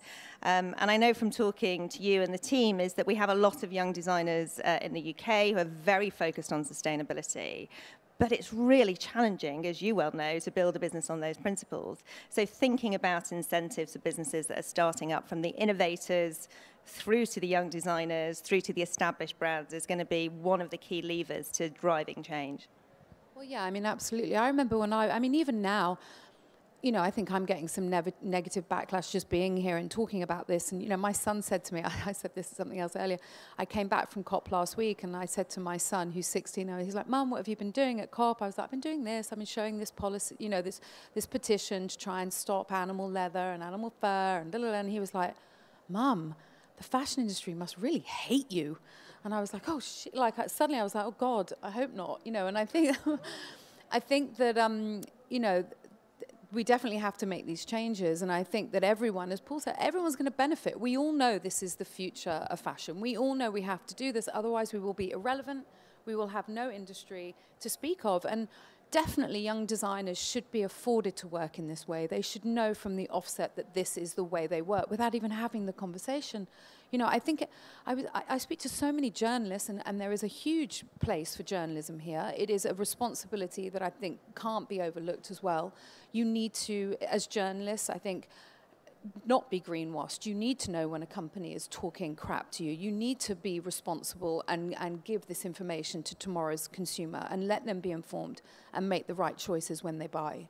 But I think young designers should have they should, you know, they should have, in, they should have grants to work this way. I mean, you know, I, when I was at St. Martin's, I remember working on my degree show a thousand years ago, and I remember this girl next to me was working with all this sheepskin, all of this huge sheepskin coats, and it was like summer, and I was like, what are you doing? Why, you know, you're a young designer, why are you working with dead sheep? And she was like, oh, it's all been sponsored by the sheep, you know, by the sheepskin body. You know, and, and these are industries that have huge, huge financial resources behind them. The fur industry, the leather industry, you know, they can afford to take young people and support them. And that should we, that shouldn't be the oh, whatever, even if it is the case, we should have like for like. We should have green support for young designers, I think. Um, you touched a little bit on the consumers there, and of course, that's been one of the key conversations coming through, um, both around the power of the fashion industry. Um, and one of your peers, Anya Hindmarch, always says if the fashion industry has a power to encourage people to wear a balloon pant one season and a straight leg the next, surely we've got the power to really think about changing the way our consumers consume fashion. Um, is that how do you tackle that within your business? Is that how do you think about that storytelling and how do you connect with the consumer? I mean, that's hard for us because, you know, we've been doing this from day one and I've been made fun of predominantly for most of my career because of, of coming at fashion in this way. So for the first kind of chunk of it, I just did it and got on with it. And actually, it was one of my sort of sexy secrets that I would love to think that people would go into my store and buy a shoe and come out just thinking it was a leather shoe. Like for me, that's the ultimate achievement because you shouldn't see or sacrifice anything for sustainability in our job. It should be as brilliantly designed, as beautifully made. And, you know, that's critical. That's the first point of call of, of our job, I think. And so I loved that. And we didn't really tell people because it, you know, it was, it was kind of made fun of or people didn't understand it. And slowly we've tried to give information. We probably don't give as much as we could, but I because I think that I'm, I'm also aware that I don't want to ram my philosophies down people's throats. And, you know, I, I think it should be slightly kind of invisible. But at the same time, we have information there. We now have a lot of technology that helps us. So we have QR codes or we have, you know, we hide it but we tell the story, I guess, in the media and the way in which we, we talk about the brand. But I try and find a balance. I think it's only now that this is, you're allowed to talk about it. It feels like now I can, I slap my dirty secrets out. And I'm an environmentalist, it seems. Clean secret. Yeah. Clean yeah. secret. Yeah. Um, you know, it's an interesting topic because uh, we know that the UN are working on um, a consumer playbook um, to think about how brands can really be consistent in that storytelling. You know, you touched a little bit on greenwashing, um, but how we can really authentically tell that story and how we can educate a consumer. Uh, it's quite interesting, isn't it? We've got this sort of brilliant consumer consciousness now around uh, climate change and the challenges that brings, but that doesn't seem to be connected yet with the fashion industry, which, as you said, is the third largest polluter. So making that connection and telling that story is going to be very important. I mean, look, I think our industry is a, it's a fundamentally it's a good industry. You know, I think all big industries they don't.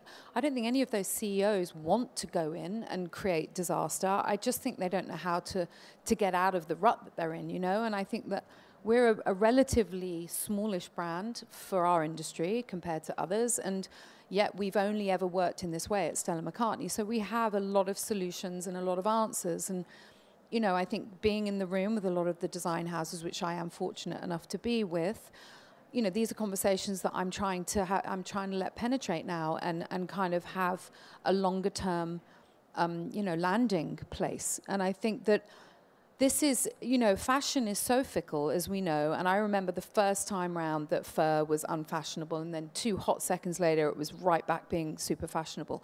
And I've just done, as I say, this policy against leather and fur, and I put together this film, which is like, actually, I did my first one 25 years ago, I realized, on anti fur.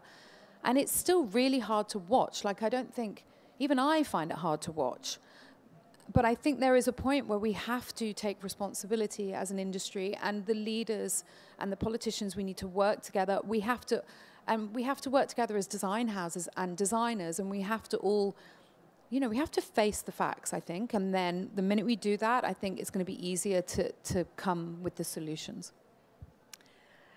Can we go back to sort of the idea of collaboration? Um, obviously, we have a lot of brands that have come together in terms of the fashion pact, as I said, the um, uh, the fashion charter, um, and if we're really going to think about circularity, uh, it's going to take more than just one brand and one innovator, isn't it, to be able to really look at that ecosystem.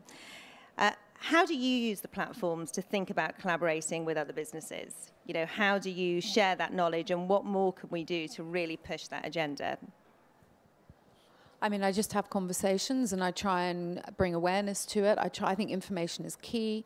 Um, I think it, you know we're in the room with some of the most kind of you know influential people, and we have to ha- we have to talk about this. And I think um, it's critical. I think you got to have balls. You know, you got to be you got to be an activist. This is a conversation of activism, and I think actually one of the big waking points for me at COP, being this is my first time here, is just seeing how privileged we are to have a platform and, and a stage to voice this. You know, I feel so privileged. It didn't even really, I always felt, knew I was privileged. I always knew that I came from a background and I had, I was, you know, very lucky. And with that luck and privilege that I wanted to do something with it for positive.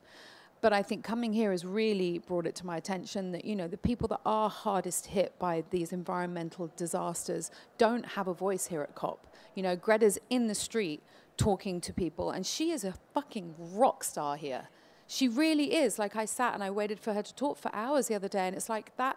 it's so brilliant. Like these are the people that should be the most fashionable, coolest people on earth. You know, that it's such an incredible moment if we can really champion them, and if our industry can stick to this and hold on to this and not throw it out when it's no longer fashionable. I just hope it sticks. Like this is the future of fashion. Well, I think it has to. I think everybody's talked about we've got to stop talking, act now, push ourselves harder and faster than maybe we ever have before. But there were two other things really that I wanted to get your perspective on. One was um, transparency and maybe the role that innovation and digital can play into that. You know, when we're thinking about circularity or we're thinking about the challenges in the supply chain, uh, whether that's sort of from farming or it's fair labor, is that transparency piece is a, a big conversation for our industry. Um, and the second uh, is education. So, how do we empower people through education? And how do you empower your team to make the right decisions through education? So, first one.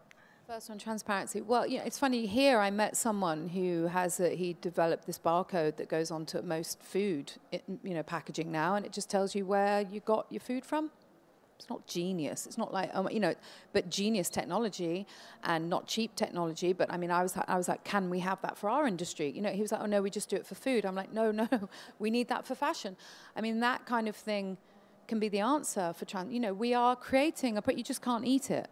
It's exactly the same. It, you know, it, it's it, it's as important that we have that level of transparency. I think. Um, and informing people is is I think a case of being honest, owning up to your imperfections. You know, I, I am not perfect at Stella McCartney. We can't always source a product that we think, you know, is going to be something that people won't hate. You know, we, we worked with natural dyes for years and years and years ago, and they all got rejected by, by the people that bought them because they, they faded, they changed color, you know, and in the window they changed. And I was like, God, you know, we need to be educated, I think, as an industry and as a consumer to know that there are imperfections attached to this way of working and it is always changing. This is a forever changing, agile landscape. And I don't think the fashion industry or most big industries is comfortable with that because you put your price points and your margins and your delivery dates, you know, it's all based on some really kind of clear, trustworthy, you know, landmarks in, in the chain. And I think that we have to be agile in this way of working and we need to have the information in, in order to do that. I think it's that information, everybody moving together, isn't it? Because if everybody moves in that direction, the consumer will understand and will accept because that's being offered by all. Yeah, but I think also, you know, you've got to look at all of the incredible business opportunities. I mean, I think now if I wanted to go into fashion, I don't know if I would be a fashion designer. I'd probably work in, you know, all secondhand. I'd probably just be like, okay, big fast fashion company, give me all of your retail spaces globally for one day a year and let me bash out all your waste and style it differently. You know, I would come at it probably quite differently now. And I think that's like the exciting bit. You get young entrepreneurs that can think outside of the box and be true change agents. You know, that will be that will be the exciting part of our industry to watch how that unfolds, I think. Yeah, I think is that uh, the the report that we did recently said that four billion pieces of clothing were bought in the UK, and at least 60% of those are going to go into landfill, probably more. Uh, a big challenge for us to tackle in terms of circularity. Education, last topic. How do you educate? How do you bring your team up to speed in terms of thinking and challenge them to go further? And what else can we do within the industry? Well, my teams, I've been educating them for, we've been working on for 20 years. So it's been really, it's been really uh, like it's interesting to watch how it's unfolded. I used to sit in my first fabric meetings and we'd go all through the fabrics and it would be like these great creative days. And then at the end of the meeting, I'd be like, oh yeah, and what about the sustainable ones? Like it would always be like this afterthought that I would always have to remember and everyone would be like, oh, shoot, she remembered, you know, and I'd have two fabrics and they were horrible and everyone would be like, please beg, I beg her not to choose them. And it would kind of, that would kind of be the process. But year in and year out, my teams are fully educated, fully engaged, and I think we're so lucky that I think if you're interested in this and interested in fashion, then we'll probably be one of the first brands that you want to come and work with.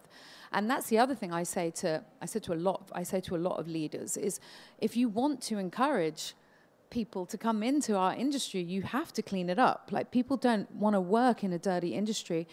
I mean, I used to have a shoe designer who was a lifelong vegetarian and he'd worked in the biggest, best brands in the world. And he came to work with me and he was like, oh, finally, I can work in the way that I want to work, that lands with me in my morals. And that should be, you know, people, young people should be allowed to work in, in places that, that, that mirror the, their, their way of life, mirror the way they eat, the way they travel, the way they live their life. You know, there shouldn't be such a disconnect with our industry. It, it will put us in danger of being very out of step, I think. So um, I didn't really answer your question, but you know, you know what I mean. Um, so I guess last piece of advice, because we are literally down to last 25 seconds. Um, for anyone working within the industry, what would your words of wisdom be to get them to challenge the norms, to think about the impact um, that our industry is having on the planet?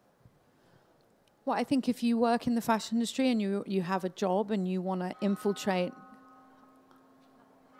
oh, I'm not, I'm not messing with that. Um, I think that you have to be polite, bring something to the table.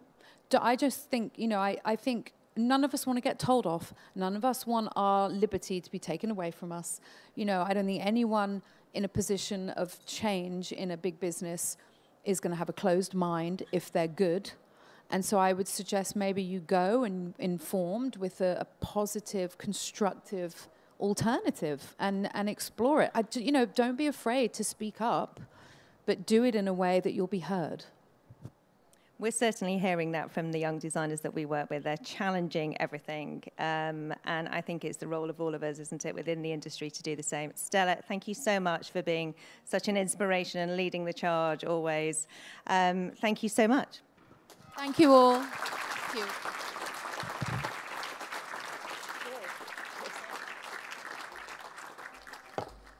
Great, so thank you very much for that really inspiring conversation and the closing panel. As Stella said, fashion is on trend at the Blue Zone at COP26, and we hope that will continue.